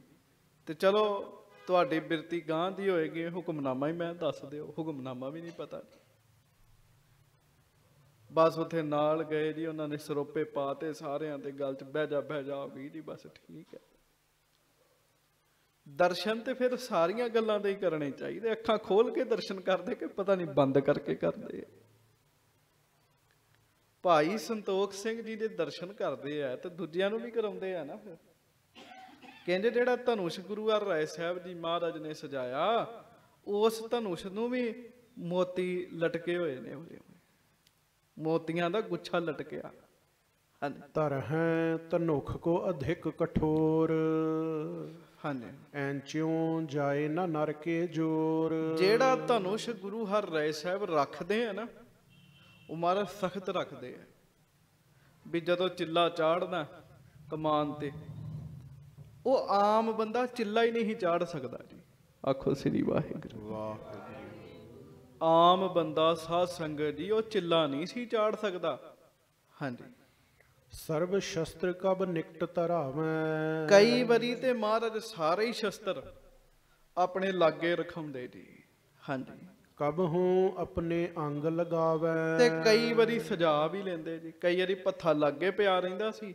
ਕਈ ਵਾਰੀ ਮਹਾਰਾਜ ਸਜਾ ਲੈਂਦੇ ਸੀਗੇ। ਕਈ ਵਾਰੀ ਬਾਹਰ ਜਾਣਾ ਕਮਾਨ ਵੀ ਨਾਲ ਸਜਾਉਣੀ ਜੀ। ਹਾਂਜੀ। ਬਾਕ ਪਿਤਾਮੇ ਕੋ ਨਿਤ ਪਾਲਤ। ਪਰ ਇੱਕ ਗੱਲ ਹੈ ਆਪਣੇ ਦਾਦਾ ਜੀ ਦਾ ਬਚਨ ਗੁਰੂ ਹਰਿਰਾਏ ਸਾਹਿਬ ਜੀ ਪੱਕਾ ਹੀ ਪਾਲਦੇ ਸੀਗੇ ਜੀ। ਹਾਂਜੀ। ਜਿਸ ਕਾਰਨ ਤੇ ਜੰਗ ਨਾ ਡਰਤ। ਆਖੋ ਸ੍ਰੀ ਵਾਹਿਗੁਰੂ। ਇੱਕ ਤੇ ਚੋਲਾ ਸੰਕੋਚ ਕੇ ਤੁਰਦੇ ਸੀ। ਦੂਜਾ ਗੁਰੂ ਹਰਗੋਬਿੰਦ ਸਾਹਿਬ ਦਾ ਬਚਨ ਸੀ ਵੀ ਸ਼ਸਤਰਧਾਰੀ ਹੋ ਕੇ ਰਹਿਣਾ। ਸ਼ਸਤਰ ਸਜਾਉਣੇ ਆ। ਤੇ ਜੰਗ ਵੀ ਨਹੀਂ ਕਰਨਾ। ਜੰਗ ਨਹੀਂ ਸੀ ਕਰਦੇ ਗੁਰੂ ਹਰਿਰਾਏ ਸਾਹਿਬ ਪਰ ਸ਼ਸਤਰ ਪੂਰੇ ਸਜਾਉਂਦੇ ਸੀਗੇ। ਹਾਂਜੀ। ਤੁਰ ਕਾਦਿਕ ਜੇਰੇ ਹੋਏ ਆਵੈ ਔਚਕ ਬਿਗਨ ਤਿਨਹੋਂ ਪਰ ਜਾਵੈ। ਤੇ ਗੁਰੂ ਸਾਹਿਬ ਨੇ ਇਹ ਵੀ ਕਿਹਾ ਸੀ ਵੀ ਜੇ ਕੋਈ ਤੁਰਕ ਚੜ ਕੇ ਆਏਗਾ ਤੁਹਾਡੇ ਤੇ ਰਸਤੇ 'ਚ ਔਰੇ ਸਮਗਾਤ ਹੈ। ਗੜੇ ਦੀ ਤਰ੍ਹਾਂ ਖਤਮ ਹੋ ਜਾਏਗਾ। ਕੋਈ ਵਿਗਨ ਪੈ ਜਾਏਗਾ। ਆਏ ਸਕਨ ਹੈ ਨਿਕਟ ਅਰਾਤੀ। ਇਸ ਕਰਕੇ ਕੋਈ ਵੀ ਵੈਰੀ ਗੁਰੂ ਹਰਿਰਾਏ ਸਾਹਿਬ ਜੀ ਦੇ ਨੇੜੇ ਆਉਂਦਾ ਹੀ ਨਹੀਂ ਸੀਗਾ ਜੀ। ਹਾਂਜੀ। ਬਿਨਸਤ ਬਿਨਾ ਬਾਰ ਬਿਨ ਘਾਤੀ। ਬਿਨਾਂ ਕਿਸੇ ਦੇਰੀ ਤੋਂ ਰਸਤੇ 'ਚ ਹੀ ਮੁੱਕ ਮਰ ਮੁੱਕ ਜਾਂਦਾ ਸੀਗਾ ਉਹ। ਹਾਂਜੀ। ਜਾਮ ਜਾਮਨੀ ਜਾਗਨ ਕਰਹੀ। ਗਰੀਬ ਨਵਾਜ ਪਹਿਰ ਰਾਤ ਰਹਿੰਦਿਆਂ ਜਾਗਦੇ ਹਨ। ਇਹ ਰੋਜ਼ ਦਾ ਨੇਮ ਹੈ। ਸਾਧ ਸੰਗਤ ਦੀ ਹੱਥ ਜੋੜ ਕੇ ਅਰਦਾਸ ਕਰੋ। ਇਹ ਜਦੋਂ ਇਹੋ ਜਿਹਾ ਪ੍ਰਸੰਗ ਆਉਂਦਾ ਹੈ, ਦਾਸ ਹਰ ਵਾਰੀ ਇੱਕ ਬੇਨਤੀ ਤੁਹਾਨੂੰ ਕਰਦਾ ਹੱਥ ਜੋੜੋ ਤੇ ਅਰਦਾਸ ਕਰੋ ਮਹਾਰਾਜ ਸਾਡੀ ਰੁਟੀਨ ਬਣ ਜੇ ਜੀ। ਆਖੋ ਸ਼੍ਰੀ। ਵਾਹਿਗੁਰੂ। ਕਈਆਂ ਦੀ ਅੰਮ੍ਰਿਤ ਵੇਲੇ ਨਿਤਨੇਮ ਦੀ ਰੁਟੀਨ ਨਹੀਂ ਬਣਦੀ ਕਈਆਂ ਦੀ ਰਹਿਰਾ ਸਾਹਿਬ ਦੀ ਰੁਟੀਨ ਨਹੀਂ ਬਣਦੀ ਕਈਆਂ ਦੀ ਖਾਣ ਦੀ ਰੁਟੀਨ ਨਹੀਂ ਬਣਦੀ। ਮਹਾਰਾਜ ਦੇ ਜੀਵਨ 'ਚ ਇੱਕ ਗੱਲ ਪੱਕੀ ਆ ਵੀ ਮਹਾਰਾਜ ਰੁਟੀਨ ਦੇ ਬੜੇ ਪੱਕੇ ਆ। ਉਹ ਅਸੀਂ ਤਿੰਨ, ਚਾਰ ਦਿਨ ਇੱਕ ਰੁਟੀਨ ਰੱਖਦੇ ਆ, ਮੁੜ ਛਾਈ ਮਾਈ ਹੋ ਜਾਂਦੇ ਆ। ਫਿਰ ਕੀ ਹੁੰਦਾ? ਕੋਈ ਮਾੜਾ ਮੋਟਾ ਸਰੀਰ ਨੂੰ ਵੀ ਕਸ਼ਟ ਆ ਗਿਆ, ਤਾਂ ਵੀ ਰੁਟੀਨ ਟੁੱਟ ਜਾਂਦੀ ਹੈ ਨਾਗਾ ਪੈ ਜਾਂਦਾ, ਅੰਮ੍ਰਿਤ ਵੇਲੇ ਦਾ ਨਾਗਾ ਪੈ ਜਾਂਦਾ, ਬਾਣੀ ਪੜਨ ਦਾ ਨਾਗਾ ਪੈ ਜਾਂਦਾ, ਸੰਗਤ ਕਰਨ ਦਾ ਨਾਗਾ ਪੈ ਜਾਂਦਾ। ਮਹਾਰਾਜ ਦੀ ਰੁਟੀਨ ਸੁਣੋ। ਜਾਮ ਜਾਮਨੀ ਜਾਗਨ ਕਰਹੀ। ਅੰਮ੍ਰਿਤ ਵੇਲੇ ਪਹਿਰ ਰਾਤ ਰਹਿੰਦਿਆਂ ਗਰੀਬ ਨਵਾਜ ਆਸਣ ਤੋਂ ਉੱਠ ਜਾਂਦੇ ਆ ਜੀ। ਹਾਂਜੀ। ਸੌਚ ਇਸ਼ਨਾਨ ਠਾਨ ਪਟ ਧਰਹੀ। ਫਿਰ 100 ਗਾਗਰ ਦੇ ਨਾਲ ਖੁੱਲੇ ਜਲ ਦੇ ਨਾਲ ਮਹਾਰਾਜ ਸਤਵੇਂ ਪਾਤਸ਼ਾਹ ਇਸ਼ਨਾਨ ਕਰਦੇ ਆ ਜੀ। ਹਾਂਜੀ, ਖੁੱਲੇ ਜਲ ਨਾਲ। ਜਿਹੜੀਆਂ ਰੱਬੀ ਰੂਹਾਂ ਹੁੰਦੀਆਂ, ਉਹਨਾਂ ਦਾ ਇਹੋ ਜਿਹਾ ਸੁਭਾਅ ਹੁੰਦਾ ਜੀ। ਹਾਂਜੀ ਕੱਲ ਅਸੀਂ ਕਿਤੇ ਗਏ ਤੇ ਉੱਥੇ ਸਿੱਧਾ ਜਿਹਾ ਕੋਈ ਰੱਬ ਦਾ ਪਿਆਰਾ, ਰੱਬੀ ਰੂਹ ਸੀਗੀ ਜੀ। ਤੇ ਘਰ ਦੇ ਮੈਨੂੰ ਕਹਿੰਦੇ ਜੀ, ਇਹ ਤੇ ਨਹਾਉਂਦਾ ਹੀ ਬੜੇ ਪਾਣੀ ਨਾਲ ਹੈ। ਪਾਣੀ ਬੜਾ ਵਰਤਦਾ।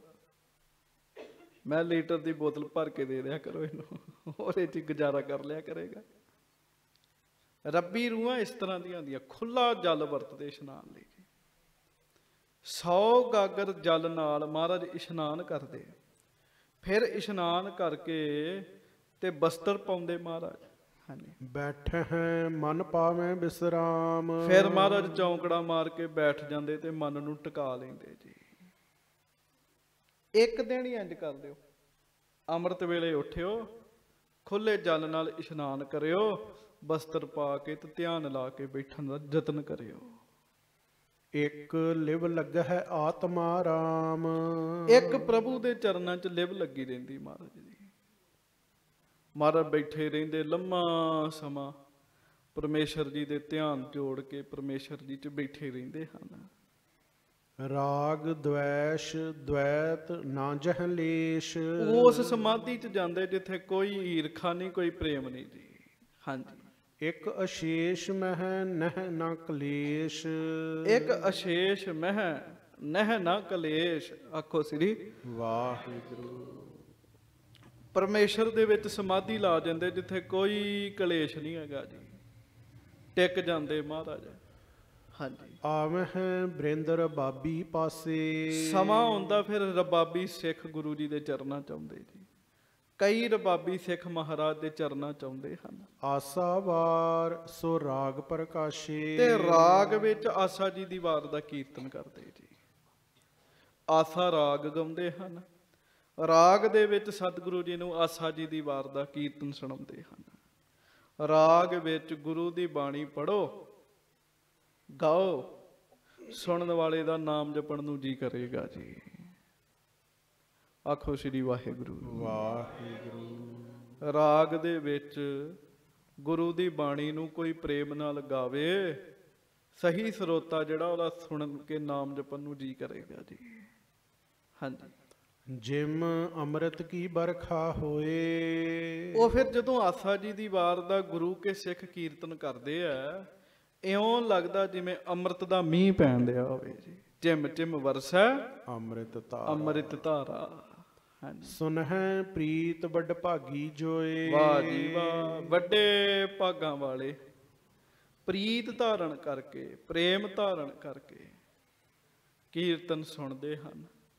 ਹੁਣੇ ਭਾਈ ਜਗਮੀਤ ਸਿੰਘ ਕੀਰਤਨ ਕਰਨ ਦਾ ਇਹ ਸਾਜਨੜਾ ਮੇਰਾ ਸਾਜਨੜਾ ਨਿਕਟ ਖਲੋਇੜਾ ਮੇਰਾ ਸਾਜਨ ਸਾਜਨੜਾ ਪ੍ਰੀਤ ਧਾਰਨ ਕਰਕੇ ਤੇ ਜਦੋਂ ਇਹ ਸ਼ਬਦ ਸੁਣਨਾ ਉਦੋਂ ਮਹਿਸੂਸ ਕਰਨਾ ਬਾਜਾਂ ਵਾਲੇ ਮੇਰੇ ਲਾਗੇ ਖਲੋਤੇ ਨੇ।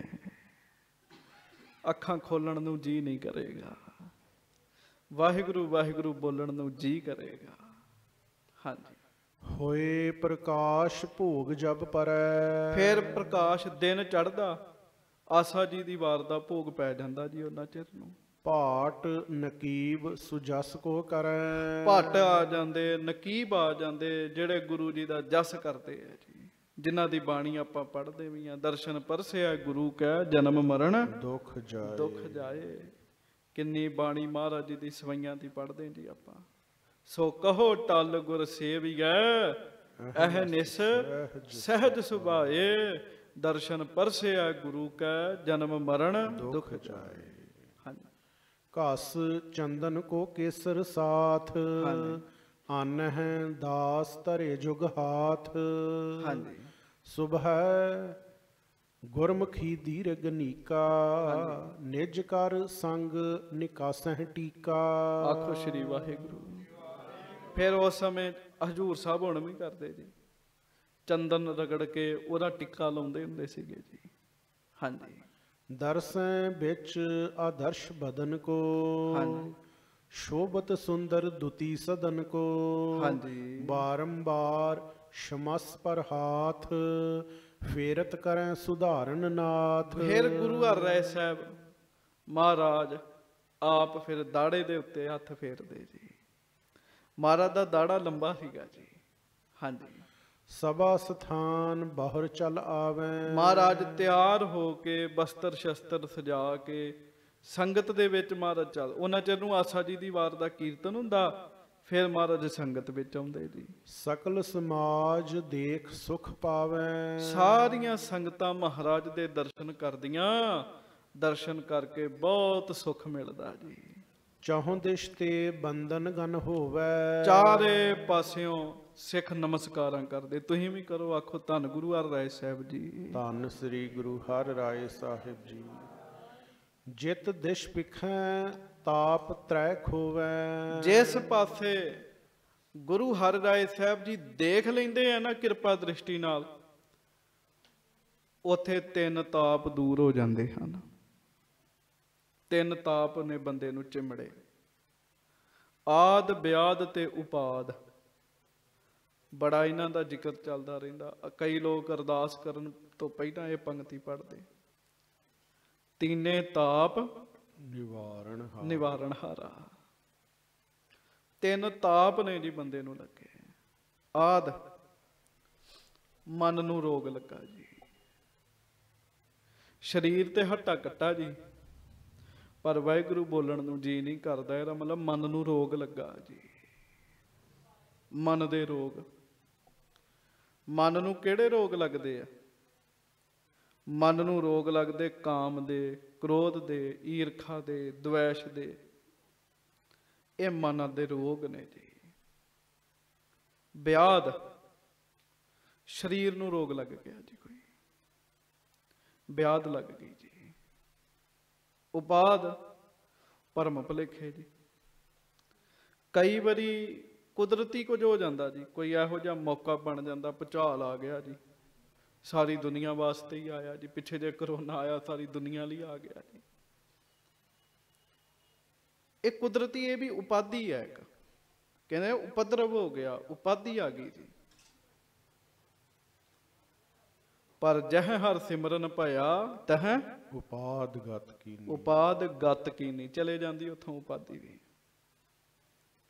ਸੋ ਭਾਈ ਸੰਤੋਖ ਸਿੰਘ ਜੀ ਲਿਖਦੇ ਆ ਕਹਿੰਦੇ ਜਿੱਧਰ ਗੁਰੂ ਹਰ ਰਾਏ ਸਾਹਿਬ ਜੀ ਵੇਖ ਲੈਂਦੇ ਆ ਨਾ, ਦ੍ਰਿਸ਼ਟੀ ਪਾ ਦਿੰਦੇ ਆ, ਤਿੰਨ ਤਾਪ ਉਥੋਂ ਦੂਰ ਹੋ ਜਾਂਦੇ ਜੀ।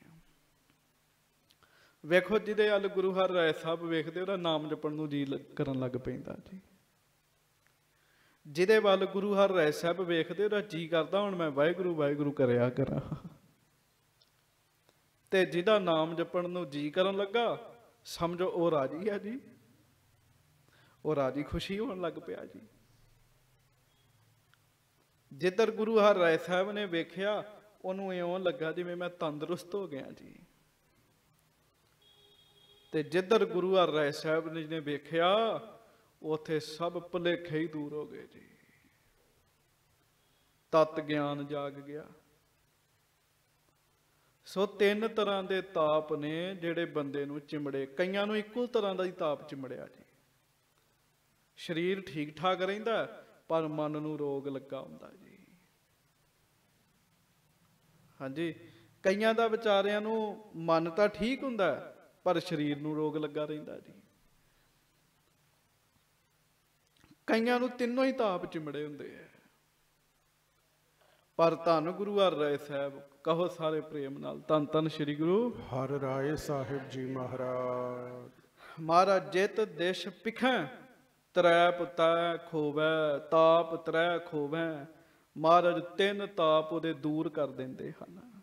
ਹਾਂਜੀ। ਹੋਤ ਬਿਲਾਵਲ ਚੌਂਕੀ ਫੇਰ। ਫਿਰ ਬਿਲਾਵਲ ਦੀ ਚੌਂਕੀ ਹੁੰਦੀ ਜੀ ਗੁਰੂ ਘਰ ਦੀ ਮਰਿਆਦਾ ਕੀਰਤਨ ਦੀ ਮਰਿਆਦਾ ਜੀ ਹੈ ਆਸਾ ਜੀ ਦੀ ਵਾਰ ਤੋਂ ਬਾਅਦ ਜਿਹੜਾ ਕੀਰਤਨ ਹੁੰਦਾ ਨਾ ਜੀ ਉਹਨੂੰ ਬਿਲਾਵਲ ਦੀ ਚੌਂਕੀ ਕਹਿੰਦੇ ਜੀ। ਹਾਂਜੀ। ਬਾਜਤ ਮਿਰਦੰਗ ਰਬਾਬ ਬਡੇਰ। ਹਾਂ ਉਦੋਂ ਤਬਲਾ ਨਹੀਂ ਸੀ ਹੁੰਦਾ। ਮੁੱਖ ਦੋ ਸਾਜ਼ਾਂ ਨਾਲ ਕੀਰਤਨ ਹੁੰਦਾ ਸੀ ਗੁਰੂ ਘਰ 'ਚ। ਹੁਣ ਵੀ ਵੈਸੇ ਮੁੱਖ ਦੋ ਸਾਜ਼ਾਂ ਨਾਲ ਹੁੰਦਾ। ਹਾਰਮੋਨੀਅਮ ਨਾਲ ਤੇ ਤਬਲੇ ਨਾਲ। ਉਦੋਂ ਹੁੰਦਾ ਸੀ ਮਰਦੰਗ। ਉਹ ਵੱਡੀ ਢੋਲਕੀ ਦੀ ਹੁੰਦੀ ਸੀਗੀ। ਇੱਕ ਹੁੰਦੀ ਰਬਾਬ। ਮਰਦੰਗ ਤੇ ਰਬਾਬ ਦੇ ਨਾਲ ਸਤਿਗੁਰੂ ਦੀ ਹਜ਼ੂਰੀ 'ਚ ਕੀਰਤਨ ਹੁੰਦਾ ਸੀਗਾ ਜੀ। ਹਾਂਜੀ। ਸਭਾ ਲੱਗੀ ਸਭ ਸ਼ਬਦ ਸੁਨੰਤੇ। ਗੁਰੂ ਕੀ ਸਭਾ ਲੱਗਦੀ ਤੇ ਗੁਰੂ ਕੀ ਸਭਾ ਵਿੱਚ ਫਿਰ ਸਾਰੇ ਸ਼ਬਦ ਸੁਣਦੇ ਜੀ। ਹਾਂਜੀ। ਬਿਮਲ ਆਤਮਾ ਹਵੈ ਮਤ ਮੰਤੇ। ਐ ਕਮੰਡੀਆਂ ਦੀਆਂ ਆਤਮਾਵਾਂ ਜਿਹੜੀਆਂ ਸਨ ਨਾ ਜੀ ਉਹ ਵੀ ਨਿਰਮਲ ਹੋ ਜਾਂਦੀਆਂ ਸੀਗੀਆਂ ਜੀ। ਬਾਣੀ ਦੇ ਕੀਰਤਨ ਦਾ ਅਸਰ ਹੁੰਦਾ ਸੀਗਾ ਜੀ। ਹਾਂਜੀ। ਕੇ ਚਿਤ ਗਿਆਨ ਬਾਰਤਾ ਬੁਝਹਿ। ਹਾਂਜੀ। ਉਪਦੇਸ਼ ਹੈ ਤਿਸ ਆਤਮ ਸੂਝੈ। ਕਈ ਫਿਰ ਗੁਰੂ ਸਾਹਿਬ ਕੋ ਗਿਆਨ ਦੀ ਵੀ ਗੱਲ ਪੁੱਛਦੇ ਆ ਕੇ। ਆਪੋ ਆਪਣੇ ਖਿਆਲਾਤ ਵੀ ਨੇ ਨਾ। ਆਪੋ ਆਪਣੇ ਸੁਭਾਅ ਵੀ ਹੈ ਆਪੋ ਆਪਣੇ ਸੁਭਾਅ ਵੀ ਹੈ ਕਈ ਫਿਰ ਗਿਆਨ ਦੀ ਗੱਲ ਪੁੱਛਦੇ ਮਹਾਰਾਜ ਨੂੰ। ਤੇ ਗੁਰੂ ਸਾਹਿਬ ਫਿਰ ਉਹਨਾਂ ਨੂੰ ਗਿਆਨ ਧਿਆਨ ਦੀ ਗੱਲ ਸੁਣਾਉਂਦੇ ਜੀ। ਹਾਂਜੀ। ਕੇ ਚਿਤ ਸੇਵਾ ਕਰੈ ਬਿਸਾਲਾ। ਕਈਆਂ ਨੇ ਬਸ ਇੱਕੋ ਹੀ ਕੰਮ ਹੀ ਵੀ ਸੇਵਾ ਹੀ ਕਰਨੀ ਹੈ ਜੀ। ਆਖੋ ਸ੍ਰੀ ਵਾਹਿਗੁਰੂ। ਵਾਹਿਗੁਰੂ। ਆਪੋ ਆਪਣਾ ਸੁਭਾਅ ਹੈ ਨਾ ਜੀ। ਉਹਨਾਂ ਦਾ ਕੰਮ ਹੀ ਵੀ ਸੇਵਾ ਹੀ ਕਰਨੀ ਦੀ ਆਪਾਂ। ਕੋਈ ਪਾਣੀ ਢੋਈ ਜਾਂਦਾ ਕੋਈ ਲੰਗਰ ਵਰਤਾਈ ਜਾਂਦਾ ਕੋਈ ਆਟਾ ਹੀ ਗੁੰਨੀ ਜਾਂਦਾ ਸੇਵਾ ਹੀ ਕਰੀ ਜਾਂਦੇ ਜੀ। ਸੇਵਾ ਕਰੀ ਜਾਂਦੇ। ਸੁਭਾਅ ਜੀ। ਹਾਂਜੀ। ਹੋਏ ਪ੍ਰਸੰਨ ਕਟਹਿ ਜਮ ਜਾਲਾ। ਜਿਹਦੇ ਤੇ ਵੀ ਗੁਰੂ ਹਰ ਰਾਏ ਸਾਹਿਬ ਜੀ ਖੁਸ਼ ਹੋ ਜਾਂਦੇ ਨਾ ਮਾਰਾ ਫਿਰ ਜਮਾਂ ਦਾ ਜਾਲ ਹੀ ਕੱਟ ਦਿੰਦੇ ਜੀ। ਹਾਂਜੀ। ਪੂਰੇ ਆ ਗਿਆ ਜਮ ਦਲ ਬਿਖਮ ਘਣਾ। ਸ਼੍ਰੀ ਰਾਮ ਨਾਮ ਉਚਰ ਉਚਰ ਮਨਾ। ਜਮਾਂ ਦੇ ਦਾਲੀ ਨੇ ਜੀ ਅੱਗੇ ਜੀ। ਤੇ ਜਿਹੜੇ ਤੇ ਮਹਾਰਾਜ ਖੁਸ਼ ਹੋ ਜਾਂਦੇ ਜੀ ਉਹਨੂੰ ਫਿਰ ਜਮਾਂ ਦਾ ਦਲ ਜਿਹੜਾ ਉਹ ਤੰਗ ਨਹੀਂ ਕਰਦਾ ਜੀ। ਹਾਂਜੀ, ਕੱਟ ਹੀ ਦਿੰਦੇ ਮਹਾਰਾਜ, ਉਹਦੀ ਉਹਦੀ ਜ਼ਿੰਦਗੀ 'ਚ ਕਾਂਟਾ ਵੱਜ ਜਾਂਦਾ ਜੀ। ਇਹ ਜਮਾਂ ਪਾਸੇ ਨਹੀਂ ਜਾਏਗਾ। ਇੰਨੀ ਵੱਡੀ ਕਿਰਪਾ ਮਿਲਦੀ ਕਿਵੇਂ ਜੀ? ਬਸ ਮਹਾਰਾਜ ਨੇ ਵੇਖ ਲਿਆ, ਗੁਰੂ ਹਰਿ ਸਾਹਿਬ ਖੁਸ਼ ਹੋ ਗਏ ਜੀ। ਇੰਨੀ ਵੱਡੀ ਹੈ ਸਤਿਗੁਰੂ ਦੀ ਕਿਰਪਾ, ਤੇ ਸਿੱਖੋ, ਗੁਰੂ ਗ੍ਰੰਥ ਸਾਹਿਬ ਉਹੋ ਹੀ ਨੇ। ਉਹੋ ਹੀ ਰੂਪ ਨੇ। ਬਸ ਭਾਵਨਾ ਬਣਾਉਣ ਦੀ ਕਮੀ ਹੈਗੀ ਜੀ। ਮਹਾਰਾਜ, ਜਮਾਂ ਦੀਆਂ ਫਾਈਆਂ ਕੱਟ ਦਿੰਦੇ, ਜਮਾਂ ਦਾ ਚੱਕਰ ਕੱਟ ਦਿੰਦੇ ਜੀ। ਬੜਾ ਵੱਡਾ ਜਮਾਂ ਦਾ ਚੱਕਰ ਹੈਗਾ ਜੀ। ਇੱਕ ਆਤਮਾ ਜਦੋਂ ਸਰੀਰ ਤਿਆਗਦੀ ਹੈ ਤੇ ਆਤਮਾ ਨੂੰ ਇੱਕ ਪ੍ਰੋਸੀਜਰ ਵਿੱਚੋਂ ਲੰਘਣਾ ਪੈਂਦਾ ਜੀ। ਜਿਹਨੂੰ ਜਮ ਦਾ ਚੱਕਰ ਕਹਿੰਦੇ ਜੀ। ਤੇ ਮਹਾਰਾਜ ਕਹਿੰਦੇ, ਕਰਮ ਧਰਮ ਪਾਖੰਡ ਜੋ ਦੀਸੈ, ਤਿਨ ਜਮ ਜਾ ਗਾਤੀ ਲੂਟੈ। ਟੈਕਸ ਵੀ ਲੱਗਦਾ ਜੀ ਅੱਗੇ। ਜਿਵੇਂ ਇੱਥੋਂ ਮਾਨਾ ਵਾਲੇ ਜਾਣਾ, ਬਾਬਾ ਬਕਾਲਾ ਸਾਹਿਬ ਦੇ ਅੱਗੇ ਵੀ ਹੈ। ਲੁਧਿਆਣੇ ਮੋਟਾ ਆ, ਟੋਲ ਟੈਕਸ। ਉਦਾਂ ਜਦੋਂ ਆਤਮਾ ਅੱਗੇ ਜਾਂਦੀ ਤੇ ਜਮ ਜਗਾਤ ਬੈਠੇ ਆ ਟੈਕਸ ਲਾ ਕੇ। ਉਹਨਾਂ ਪੈਸੇ ਨਹੀਂ ਲੈਣੇ। ਉਹਨਾਂ ਕਹਿਣਾ, ਕਿੰਨਿਆਂ ਕੁ ਨੂੰ ਪਾਣੀ ਪਿਆਇਆ ਸੀ? ਕਹਿਣਾ ਜੀ, ਮੈਂ ਇੰਨੇ ਜਣਿਆਂ ਨੂੰ ਪਾਣੀ ਪਾਇਆ ਕਹਿੰਦੇ, ਪਾਣੀ ਦਾ ਪੁੰਨ ਸਾਨੂੰ ਦੇ ਦੇ, ਤੂੰ ਪਾਣੀ ਪੀ ਲਾ ਤੇ ਅੱਗੇ ਚੱਲ ਜਾ। ਐਦਾਂ ਆਤਮਾ ਦਾ ਚੱਕਰ ਹੁੰਦਾ, ਜਮਾਂ ਦਾ ਚੱਕਰ ਹੁੰਦਾ। ਉਹ ਬੈਠੇ ਹੁੰਦੇ ਥਾਂ ਥਾਂ ਦੇ ਉੱਤੇ। ਪਰ ਜਿਨ੍ਹਾਂ ਉੱਤੇ ਗੁਰੂ ਜੀ ਦਇਆ ਕਰ ਦਿੰਦੇ, ਗੁਰੂ ਹਰਿਰਾਏ ਸਾਹਿਬ ਜੀ, ਉਹਨਾਂ ਨੂੰ ਇਹ ਚੱਕਰ ਹੀ ਨਹੀਂ ਪੈਂਦਾ ਜੀ। ਉਹਨਾਂ ਦਾ ਰਾਹ ਹੀ ਹੋਰ ਹੈਗਾ ਜੀ। ਉਹਨਾਂ ਦਾ ਰਾਹ ਹੋਰ ਹੈਗਾ ਜੀ। ਔਰ ਇਸ ਰਸਤੇ ਦੇ ਉੱਤੇ ਕੋਈ ਵੀ ਮਾਂ ਪਿਓ ਭੈਣ ਭਰਾ ਨਹੀਂ ਚ ਜਾਂਦਾ ਗੁਰੂ ਦੀ ਕਿਰਪਾ ਤੇ ਜਿਹੜੀ ਬਚਾ ਲੈਂਦੀ ਹੈ। ਜਹ ਮਾਤ ਪਿਤਾ ਸੁਤ ਮੀਤ ਨਾ ਭਾਈ ਗੁਰੂ ਗ੍ਰੰਥ ਸਾਹਿਬ ਜੀ ਕਹਿੰਦੇ ਆ। ਹਾਂਜੀ। ਕੇਚਿਤ ਕਰੈ ਭਗਤ ਅਬਿਰਾਮੂ ਕਈ ਫਿਰ ਮਹਾਰਾਜ ਕੋ ਭਗਤੀ ਦੀ ਦਾਤ ਮੰਗਦੇ ਸੱਚੇ ਪਾਤਸ਼ਾਹ ਮਹਾਰਾਜ ਸਾਨੂੰ ਭਗਤੀ ਦੀ ਦਾਤ ਦਿਓ। ਉਹ ਭਗਤੀ ਕਰਦੇ ਵੀ ਹੈ। ਉਪਦੇਸ਼ਤ ਗੁਰ ਤਿੰਨ ਸਤਨਾਮੂ। ਮਹਾਰਾਜ ਫਿਰ ਉਹਨਾਂ ਨੂੰ ਉਪਦੇਸ਼ ਦਿੰਦੇ ਵੀ ਲੱਕ ਬੰਨ ਕੇ ਭਜਨ ਕਰੋ ਸਿਮਰਨ ਕਰੋ। ਹਾਂਜੀ। ਐਸੀ ਲਿਵ ਲਾਗੈ ਔਰ ਅੰਤਰ। ਜਦੋਂ ਮਹਾਰਾਜ ਬਚਨ ਕਰਦੇ ਨੇ ਤੇ ਸੁਣਨ ਵਾਲਿਆਂ ਦੇ ਅੰਦਰ ਲਿਵ ਹੀ ਲੱਗ ਜਾਂਦੀ ਨਾਮ ਜਪਣ ਦੀ ਜੀ। ਫਿਰ ਉਹਨਾਂ ਕੋ ਹਟਿਆ ਨਹੀਂ ਜਾਂਦਾ ਜੀ। ਸਿਮਰਨ ਨਿਸ ਦਿਨ ਰਹੈ ਨਿਰੰਤਰ ਉਹ ਫਿਰ ਦਿਨ ਰਾਤ ਮਗਨ ਹੋ ਜਾਂਦੇ ਆ। ਉਹ ਸਿਮਰਨ ਵਿੱਚ ਲੱਗ ਜਾਂਦੇ ਆ। ਮਗਨ ਹੋ ਜਾਂਦੇ ਹਨ। ਜਿਸ ਤੇ ਮਨ ਹੋਏ ਜਾਏ ਇਕਾਗਰ ਜਥਾ ਜੋਤ ਜੋਗੀਨ ਉਜਾਗਰ। ਮਹਾਰਾਜ ਦੇ ਕੋਲੋਂ ਬਚਨ ਸੁਣ ਕੇ ਗੁਰੂ ਦੇ ਸਿੱਖ ਜੋਗੀਆਂ ਵਰਗੇ ਬਣ ਜਾਂਦੇ ਜੋਗੀਆਂ ਵਰਗੇ ਜੀ। ਬਹੁਤ ਯਤਨ ਕੀਤਾ ਮਨ ਫਿਰ ਨਹੀਂ ਟਿਕਦਾ। ਜੋਗੀਆਂ ਦਾ ਫਿਰ ਵੀ ਨਹੀਂ ਟਿਕਦਾ। ਪਰ ਮਹਾਰਾਜ ਦੇ ਸਿੱਖਾਂ ਦਾ ਸਹਿਜੇ ਹੀ ਨਾਮ ਚ ਮਨ ਟਿਕ ਜਾਂਦਾ ਜੀ। ਸਹਿਜੇ ਹੀ ਟਿਕ ਜਾਂਦਾ ਜੀ। ਹਾਂਜੀ। ਅੰਤ ਸਮੈ ਗੁਰਪੁਰ ਮਹਿ ਬਾਸੈ ਜਹਾਂ ਸਦੀਵ ਆਨੰਦ ਪ੍ਰਕਾਸ਼ੈ। ਤੇ ਗੁਰੂ ਦੇ ਸਿੱਖ ਸੇਵਾ ਕਰਕੇ ਸਿਮਰਨ ਕਰਕੇ ਗੁਰਾਂ ਦੀਆਂ ਖੁਸ਼ੀਆਂ ਲੈ ਕੇ ਸਰੀਰ ਤਿਆਗਣ ਤੋਂ ਬਾਅਦ ਜਮਾਂ ਦੇ ਰਾਹ ਨਹੀਂ ਫਿਰ ਪੈਂਦੇ ਉਹ ਫਿਰ ਸਤਿਗੁਰਾਂ ਦੇ ਚਰਨਾਂ ਵਿੱਚ ਪਹੁੰਚਦੇ ਆ ਜੀ। ਭਾਈ ਭਗਤੂ ਜੀ ਦੀ ਤੁਸੀਂ ਕਥਾ ਸੁਣੀ ਲਈ ਜੀ। ਹਾਂਜੀ। ਕੇਚਿਤ ਪਾਵੈ ਆਤਮ ਗਿਆਨ ਜਨਮ ਜਨਮ ਕੇ ਬੰਧਨ ਹਾਨ। ਕਈਆਂ ਨੇ ਗੁਰੂ ਹਰਿ ਸਾਹਿਬ ਜੀ ਕੋਲੋਂ ਆਤਮ ਗਿਆਨ ਦੀ ਪ੍ਰਾਪਤੀ ਕੀਤੀ ਜੀ। ਉਹਨਾਂ ਉੱਤੇ ਮਿਹਰ ਹੋਈ ਕਿਰਪਾ ਹੋਈ। ਆਤਮਾ ਦਾ ਗਿਆਨ ਉਹਨਾਂ ਨੂੰ ਮਿਲਿਆ। ਡੇਢ ਜਾਮ ਲੋ ਦਿਨ ਜਬ ਆਵੈ ਤਾਵਦ ਬੈਠੇ ਸਭਾ ਸੁਹਾਵੈ। ਮਹਾਰਾਜ ਫਿਰ ਜਿੰਨਾ ਚਿਰ ਤੱਕ ਡੇਢ ਪੈਰ ਨਹੀਂ ਸੀ ਨਾ ਹੁੰਦਾ ਦਿਨ ਚੜਦਾ ਸੰਗਤ 'ਚ ਬੈਠ ਕੇ ਗੱਲਬਾਤ ਕਰਦੇ ਸੀ ਮਹਾਰਾਜ। ਆਖੋ ਸ੍ਰੀ। ਵਾਹਿਗੁਰੂ। ਇਹ ਕੰਮ ਬਹੁਤ ਜ਼ਰੂਰੀ ਹੈਗਾ ਜੀ। ਬਹੁਤ ਜ਼ਰੂਰੀ ਸੰਗਤ ਦੀ ਗੱਲ ਸੁਣਨੀ ਸੰਗਤ ਨਾਲ ਗੱਲ ਕਰਨੀ ਜੀ। ਮਹਾਰਾਜ ਸੰਗਤ ਨਾਲ ਬਚਨ ਬੁਲਾਸ ਕਰਦੇ ਸੱਚੇ ਪਾਤਸ਼ਾਹ। ਜਥਾ ਜੋਗ ਉਪਦੇਸ਼ ਹੈ ਦਾਸ। ਫਿਰ ਜੋ ਯੋਗ ਸਮਝਦੇ ਉਹ ਦੱਸਦੇ ਵੀ ਅੱਗੋਂ ਮਹਾਰਾਜ। ਕਰਹਿ ਕੁਮਤ ਕੇ ਬੰਧ ਬਿਨਾਸ਼। ਬਸ ਭੈੜੀ ਮਤ ਤੇ ਗੁਰੂ ਜੀ ਦੇ ਦਰਸ਼ਨ ਕਰਕੇ ਹੀ ਦੂਰ ਹੋ ਜਾਂਦੀ ਜੀ। ਮਨ ਪਵਿੱਤਰ ਹੋ ਜਾਂਦਾ ਉਹਨਾਂ ਦਾ ਜਿਹੜੇ ਭਾਵਨਾ ਨਾਲ ਗੁਰੂ ਜੀ ਦੇ ਦਰਸ਼ਨ ਕਰਦੇ। ਹਾਂਜੀ। ਪੁਨ ਹੈ ਰਸੋਈਆ ਹਾਦਰ ਹੋਏ। ਫਿਰ ਸਤਿਗੁਰਾਂ ਦੇ ਚਰਨਾਂ 'ਚ ਰਸੋਈਆ। ਲਾਂਗਰੀ ਸਿੱਖ ਗੁਰੂ ਜੀ ਦਾ ਆਉਂਦਾ ਹੈ। ਠਾਡੋ ਰਹੇ ਬੰਦ ਕਰ ਜੋਏ। ਉਹ ਹੱਥ ਜੋੜ ਕੇ ਖਲੋਤਾ ਰਹਿੰਦਾ ਜੀ। ਜਦੋਂ ਮਹਾਰਾਜ ਕਿਸੇ ਨਾਲ ਬਚਨ ਕਰਦੇ ਉਦੋਂ ਨਹੀਂ ਉਹ ਬੋਲਦਾ। ਕਈਆਂ ਨੂੰ ਪਤਾ ਹੀ ਨਹੀਂ ਹੁੰਦਾ ਗੱਲ ਕਿਵੇਂ ਕਰਨੀ ਜੀ। ਬਚਨ ਕਰਨ ਦਾ ਇਹ ਮਹਾਰਾਜ ਕਿਸੇ ਸਿੱਖ ਨਾਲ ਉਹਨੇ ਨਹੀਂ ਬੋਲਣਾ। ਉਹਨੇ ਹੱਥ ਜੋੜ ਕੇ ਖਲੋਤੇ ਰਹਿਣਾ ਜੀ। ਦ੍ਰਿਸ਼ਟ ਪਰ ਹੈ ਤਬ ਅਰਜ਼ ਗੁਜ਼ਾਰੈ। ਜਦੋਂ ਫਿਰ ਮਹਾਰਾਜ ਨੇ ਉਹਦੇ ਤੇ ਦ੍ਰਿਸ਼ਟੀ ਪਾਉਣੀ ਨਾ ਉਹਦੇ ਵੱਲ ਵੇਖਣਾ ਫਿਰ ਉਹਨੇ ਬੇਨਤੀ ਕਰਨੀ। ਜੀ ਮਹਾਰਾਜ ਜੀ ਭੋਜਨ ਤਿਆਰ ਹੈ ਦ੍ਰਿਸ਼ਟ ਪਰ ਹੈ ਤਬ ਅਰਜ ਗੁਜ਼ਾਰ ਹੈ ਫਿਰ ਉਹਨੇ ਬੇਨਤੀ ਕਰਨੀ। ਜਦੋਂ ਮਹਾਰਾਜ ਨੇ ਉਹਦੇ ਵੱਲ ਵੇਖਣਾ ਬੇਨਤੀ ਕੀ ਕਰਨੀ?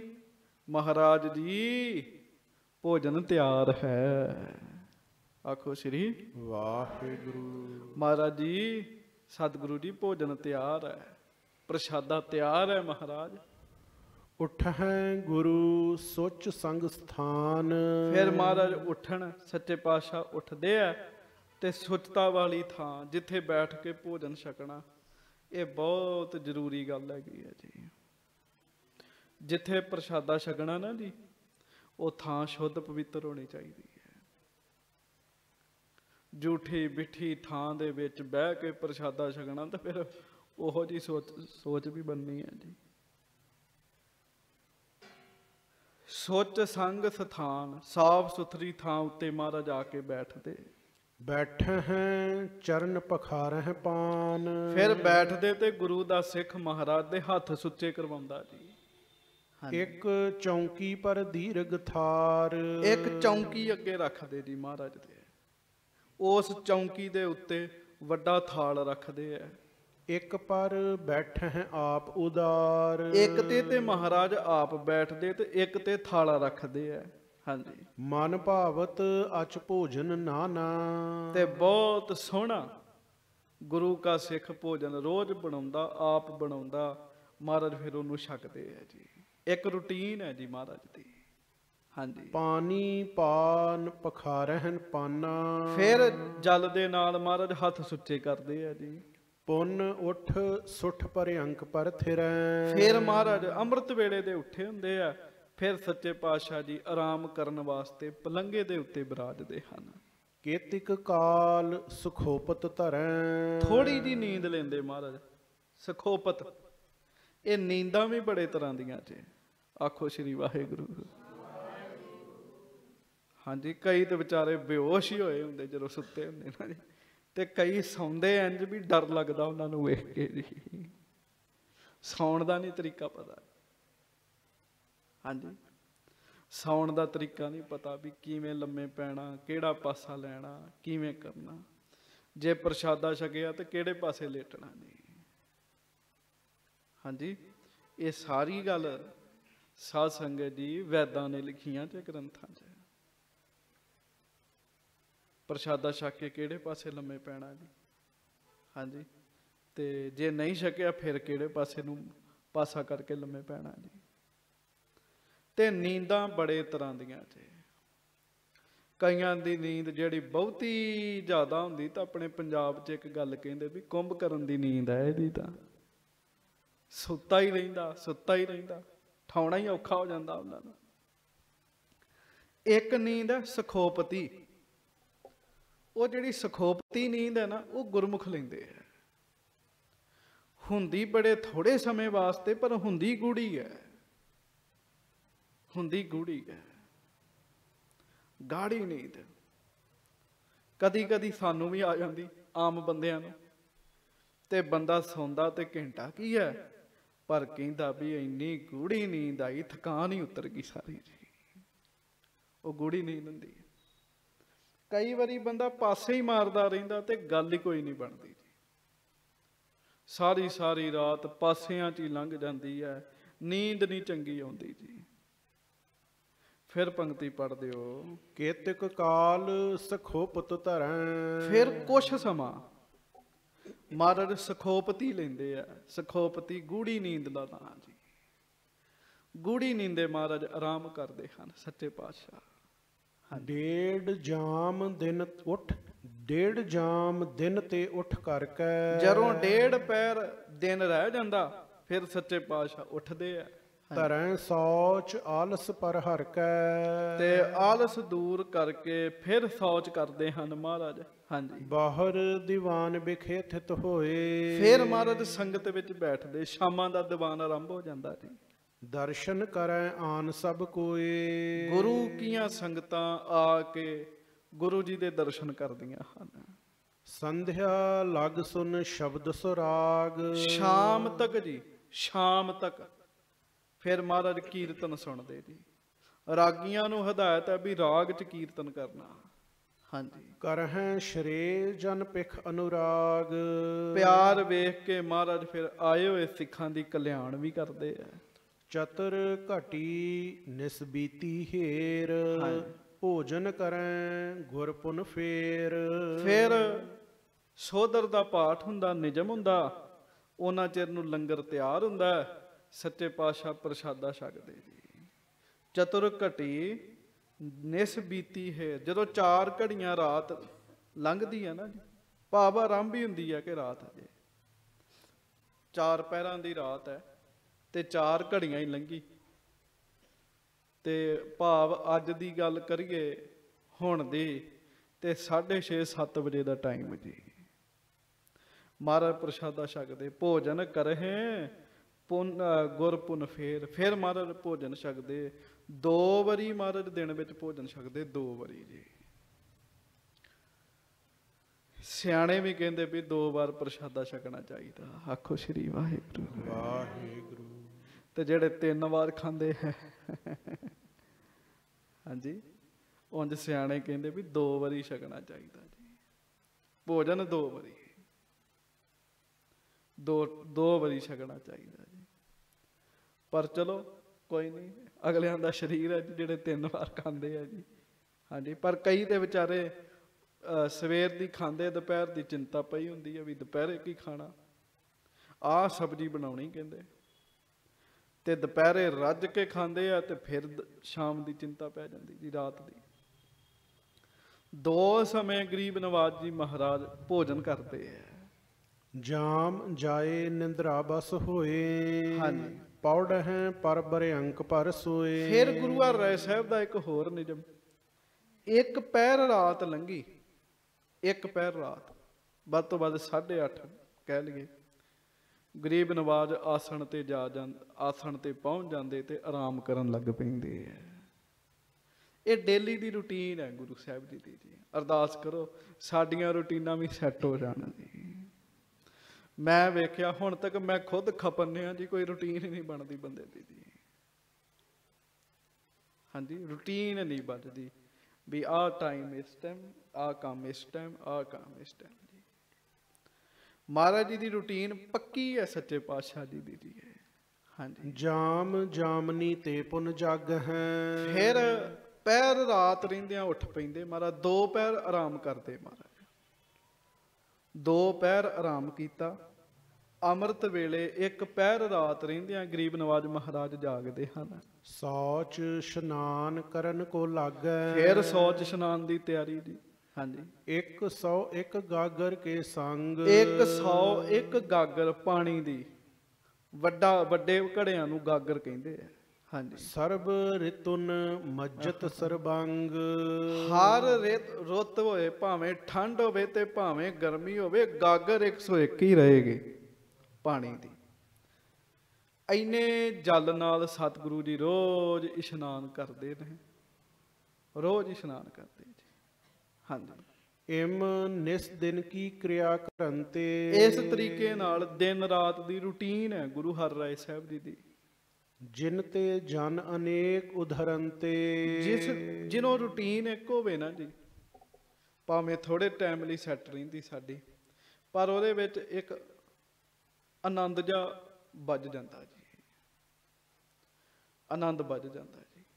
ਉਹ ਉਹਨਾਂ ਦਾ ਜ਼ਿੰਦਗੀ ਉੱਥੇ ਸੈੱਟ ਹੋ ਜਾਂਦੀ ਹੈ। ਉਹ ਟਾਈਮ ਨਿਤਨੇਮ ਦਾ, ਬਿਲਕੁਲ ਟਾਈਮ ਸਾਧ ਸੰਗਤ ਦੀ ਪ੍ਰਸ਼ਾਦੇ ਦਾ, ਉਹ ਟਾਈਮ ਆਰਾਮ ਦਾ, ਉਹ ਟਾਈਮ ਭਜਨ ਦਾ ਸੈੱਟ ਕਰਕੇ ਰੱਖਦੇ ਜੀ ਇੱਕ ਗੁਰਮੁਖ ਦੁਪਹਿਰ ਨੂੰ ਨਿਤਨੇਮ ਕਰਦੇ ਹੁੰਦੇ ਸੀਗੇ। ਉਹਨਾਂ ਦੀ ਮਾਤਾ ਸ਼ਰੀਰ ਤਿਆਗ ਗਈ। ਮਾਤਾ ਦਾ ਸੰਸਕਾਰ ਹੋਣਾ ਜੀ। ਬੜੇ ਬੜੇ ਪੰਥ ਦੀਆਂ ਮਹਾਨ ਹਸਤੀਆਂ ਬਾਹਰ ਬੈਠੀਆਂ। ਉਹ ਕਹਿੰਦੇ ਵੀ ਮੇਰੇ ਵੱਲੋਂ ਤੁਸੀਂ ਸੰਸਕਾਰ ਕਰ ਦਿਓ। ਮੈਂ ਨਹੀਂ ਤੁਹਾਨੂੰ ਰੋਕਦਾ, ਪਰ ਮੇਰੇ ਨਿਤਨੇਮ ਦਾ ਸਮਾਂ ਹੋ ਗਿਆ। ਹੁਣ ਨਿਤਨੇਮ ਕਰਨਾ ਕਹਿੰਦੇ। ਟਾਈਮ ਨਿਤਨੇਮ ਦਾ ਹੋ ਗਿਆ। ਜਿਹੜੇ ਭਜਨ ਵਿੱਚ ਜਾ ਕੇ ਬੈਂਦੇ ਜਿਨ੍ਹਾਂ ਦਾ ਮਨ ਜੁੜ ਜਾਂਦਾ, ਉਹਨਾਂ ਦੀ ਅਵਸਥਾ ਉੱਚੀ ਬਣ ਜਾਂਦੀ ਜੀ।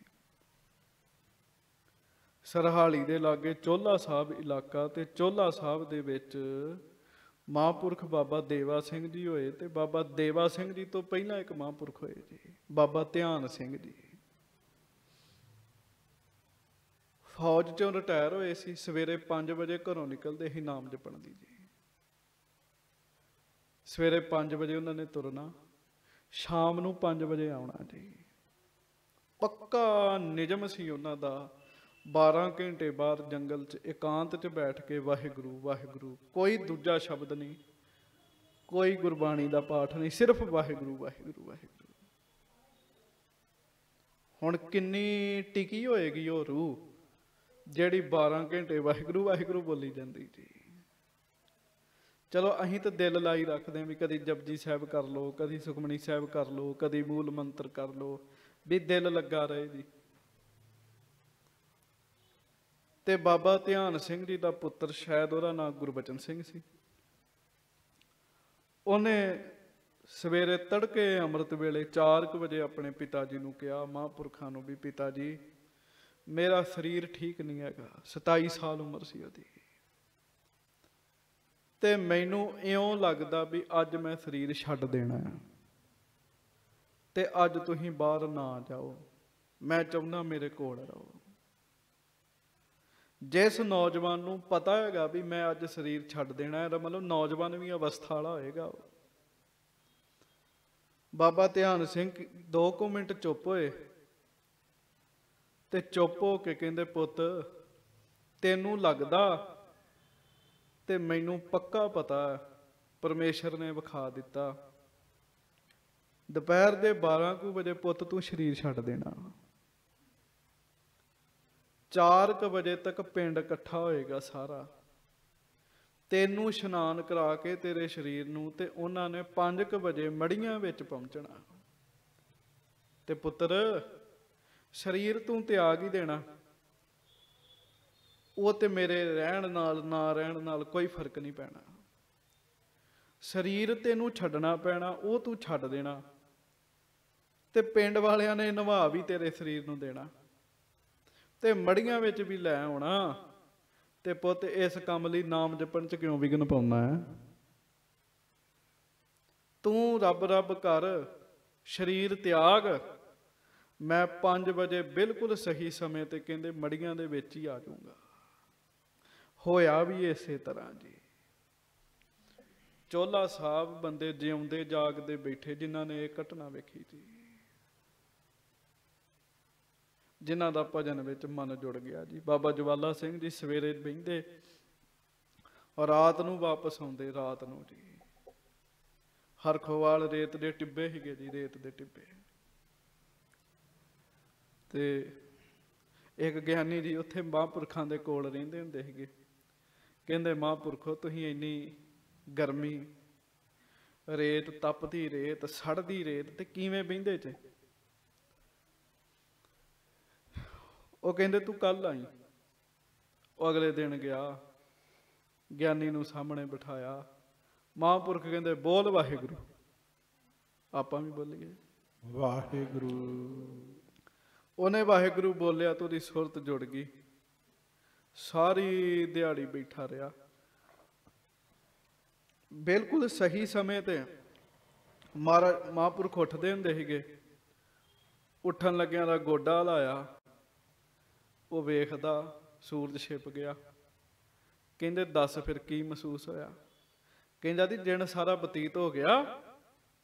ਕਹਿੰਦੇ, ਤੇਰੇ ਸਾਹਮਣੇ ਹੀ ਹੈ। ਕਹਿੰਦਾ, ਜੀ, ਮੈਨੂੰ ਇਉਂ ਲੱਗਾ ਜੇ ਇੱਕ ਖੇਨੀ ਹੋਇਆ ਤੇ ਮੈਂ ਬੈਠਾ ਹਾਂ ਜੀ ਇੱਕ ਖੇਨੀ ਹੋਇਆ ਜੀ। ਸੰਤ ਬਾਬਾ ਅਤਰ ਸਿੰਘ ਜੀ ਮਸਤੂਆਣੇ ਵਾਲੇ। ਮਹਾਨ ਮਹਾਂਪੁਰਖ ਤਤ ਬੇਤੇ ਰੱਬ ਦੇ ਪਿਆਰੇ। ਹਜੂਰ ਸਾਹਿਬ ਨਿਜਮ ਉਹਨਾਂ ਦਾ ਨਿਜਮ ਜੀ। 100 ਪਾਠ ਜਪਜੀ ਸਾਹਿਬ ਦਾ ਕਰਨਾ 100 ਗੀਟੇ ਗਿਣ ਕੇ ਰੱਖੇ ਹੁੰਦੇ ਸੀਗੇ ਜੀ। ਰੋਜ਼ ਇੱਕ ਪਾਠ ਹੋਣਾ, ਗੀਟਾ ਦਰਿਆ 'ਚ ਸੁੱਟ ਦੇਣਾ, ਦੂਜਾ ਹੋਣਾ, ਦੂਜਾ ਸੁੱਟ ਦੇਣਾ। ਜਿੰਨਾ ਚਿਰ ਤੱਕ 100 ਗੀਟੇ ਦਰਿਆ 'ਚ ਸੁੱਟ ਨਹੀਂ ਲੈਂਦੇ, ਭਾਵ 100 ਪਾਠ ਜਪਜੀ ਸਾਹਿਬ ਦਾ ਹੋ ਨਹੀਂ ਸੀ ਜਾਂਦਾ ਉਹਨਾਂ ਚਿਰ ਤੱਕ ਸੰਤ ਬਾਬਾ ਅਤਰ ਸਿੰਘ ਜੀ ਮਹਾਰਾਜ ਚਿਹਰਾ ਨਹੀਂ ਤਾਂ ਚੁੱਕਦੇ ਹੁੰਦੇ ਜੀ। ਚਿਹਰਾ ਹੀ ਨਹੀਂ ਤਾਂ ਚੁੱਕਣਾ। ਗੱਲ ਹੀ ਨਹੀਂ ਕਰਨੀ। ਇੱਥੇ ਮਾਤਾ ਇੱਕ ਮੈਨੂੰ ਮਿਲਣ ਆਉਂਦੀ ਹੁੰਦੀ ਹੈ ਮਾਤਾ 51 ਪਾਠ ਜਪਜੀ ਸਾਹਿਬ ਦੇ ਰੋਜ਼ ਕਰਕੇ ਕਿਸੇ ਨਾਲ ਗੱਲ ਕਰਦੀ, ਨਹੀਂ ਤੇ ਗੱਲ ਹੀ ਨਹੀਂ ਕਰਨੀ ਜੀ। ਭਾਵੇਂ ਰਾਤ ਪੈ ਜਾਏ ਉਹਨੂੰ। ਉਹ ਮਾਤਾ ਜੀ ਆਉਂਦੇ ਹੁੰਦੇ ਮਿਲਣ ਕਦੀ ਕਦੀ ਜੀ। ਉਹਨਾਂ ਦਾ ਕੋਈ ਪਤਾ ਨਹੀਂ ਜੇ ਦੁਪਹਿਰੇ ਨਿਜਮ ਪੂਰਾ ਹੋ ਗਿਆ ਤੇ ਦੁਪਹਿਰੇ ਆ ਜਾਣਾ ਜੀ। ਕਈ ਵਾਰੀ ਰਾਤ ਆ ਜਾਂਦੇ ਜੀ। 51 ਪਾਠ ਜਪਜੀ ਸਾਹਿਬ ਦੇ ਕਰਨੇ ਆ। ਤੇ 51 ਪਾਠ ਕਰਨ ਤੋਂ ਬਾਅਦ ਮੂੰਹੋਂ ਕੋਈ ਗੱਲ ਦੂਜੀ ਬੋਲਣੀ, ਉਹਨਾਂ ਚਿਰ ਇਸ਼ਾਰਾ ਹੋਏਗਾ, ਮੂੰਹੋਂ ਨਹੀਂ ਬੋਲਣਗੇ। ਆਪਣਾ ਪ੍ਰਸ਼ਾਦਾ ਹੱਥੀਂ ਬਣਾਉਂਦੇ ਜੇ। ਨਾ ਧੀ ਹੈ ਨਾ ਪੁੱਤ ਹੈ। ਤੇ ਪਤੀ ਸਰੀਰ ਤਿਆਗ ਗਿਆ, ਕੱਲੀ ਮਾਤਾ ਰਹਿੰਦੀ ਤੇ ਜਿੰਦਿਆਂ ਜੀ ਆਪਣਾ ਘਰ ਗੁਰੂ ਰਾਮਦਾਸ ਜੀ ਨੂੰ ਲਿਖ ਕੇ ਦੇਤਾ ਜੀ ਉਹਨੇ। ਮੇਰੇ ਮਰਨ ਤੋਂ ਬਾਅਦ ਘਰ ਗੁਰੂ ਰਾਮਦਾਸ ਜੀ ਕੋਲ। ਇੱਕ ਇੱਕ ਰੁਪਈਆ ਵੀ ਉਹਨੇ ਕਿਹਾ ਮੇਰੇ ਘਰ ਦਾ ਜਿਹੜਾ ਕਿਤੇ ਹੋਰ ਨਹੀਂ ਜਾਏਗਾ, ਸਾਰਾ ਹਰਮੰਦਰ ਸਾਹਿਬ ਦੇ ਲੰਗਰ 'ਚ ਪੈ ਜਾਏਗਾ ਜੀ। ਜਿਨ੍ਹਾਂ ਨੇ ਨਿਜਮ ਬਣਾ ਲਏ ਆਪਣੇ ਜੀ। ਸਿਰ ਝੁਕਦਾ ਉਹਨਾਂ ਦੇ ਚਰਨਾਂ ਤੇ, ਸਿਰ ਝੁਕਦਾ। ਸੋ ਖਸ਼ਟ ਮਾਸ ਕੀਰਤਪੁਰ ਮਾਹੀ, ਕਰਿਓ ਬਾਸ ਸਤਗੁਰ ਚਿਤ ਚਾਹੀ। 6 ਮਹੀਨੇ ਮਹਾਰਾਜ ਕੀਰਤਪੁਰ ਸਾਹਿਬ ਰਹੇ। ਬੜਿਆਂ ਨੂੰ ਤਾਰਿਆ ਹੋਏਗਾ ਗੁਰੂ ਜੀ ਨੇ ਜੀ। ਇਹਦੇ ਤੋਂ ਅੱਗੇ ਕੱਲ ਨੂੰ ਸੁਣਾਂਗੇ। ਹੁਣ ਨਾਮ ਜਪ ਲਈਏ 2 ਮਿੰਟ, ਫਿਰ ਖਿਮਾ ਮੰਗਾਂਗੇ। ਗੱਜ ਕੇ ਸਾਰੇ ਜਪੋ ਜੀ। ਵਾਹਿਗੁਰੂ ਵਾਹਿਗੁਰੂ।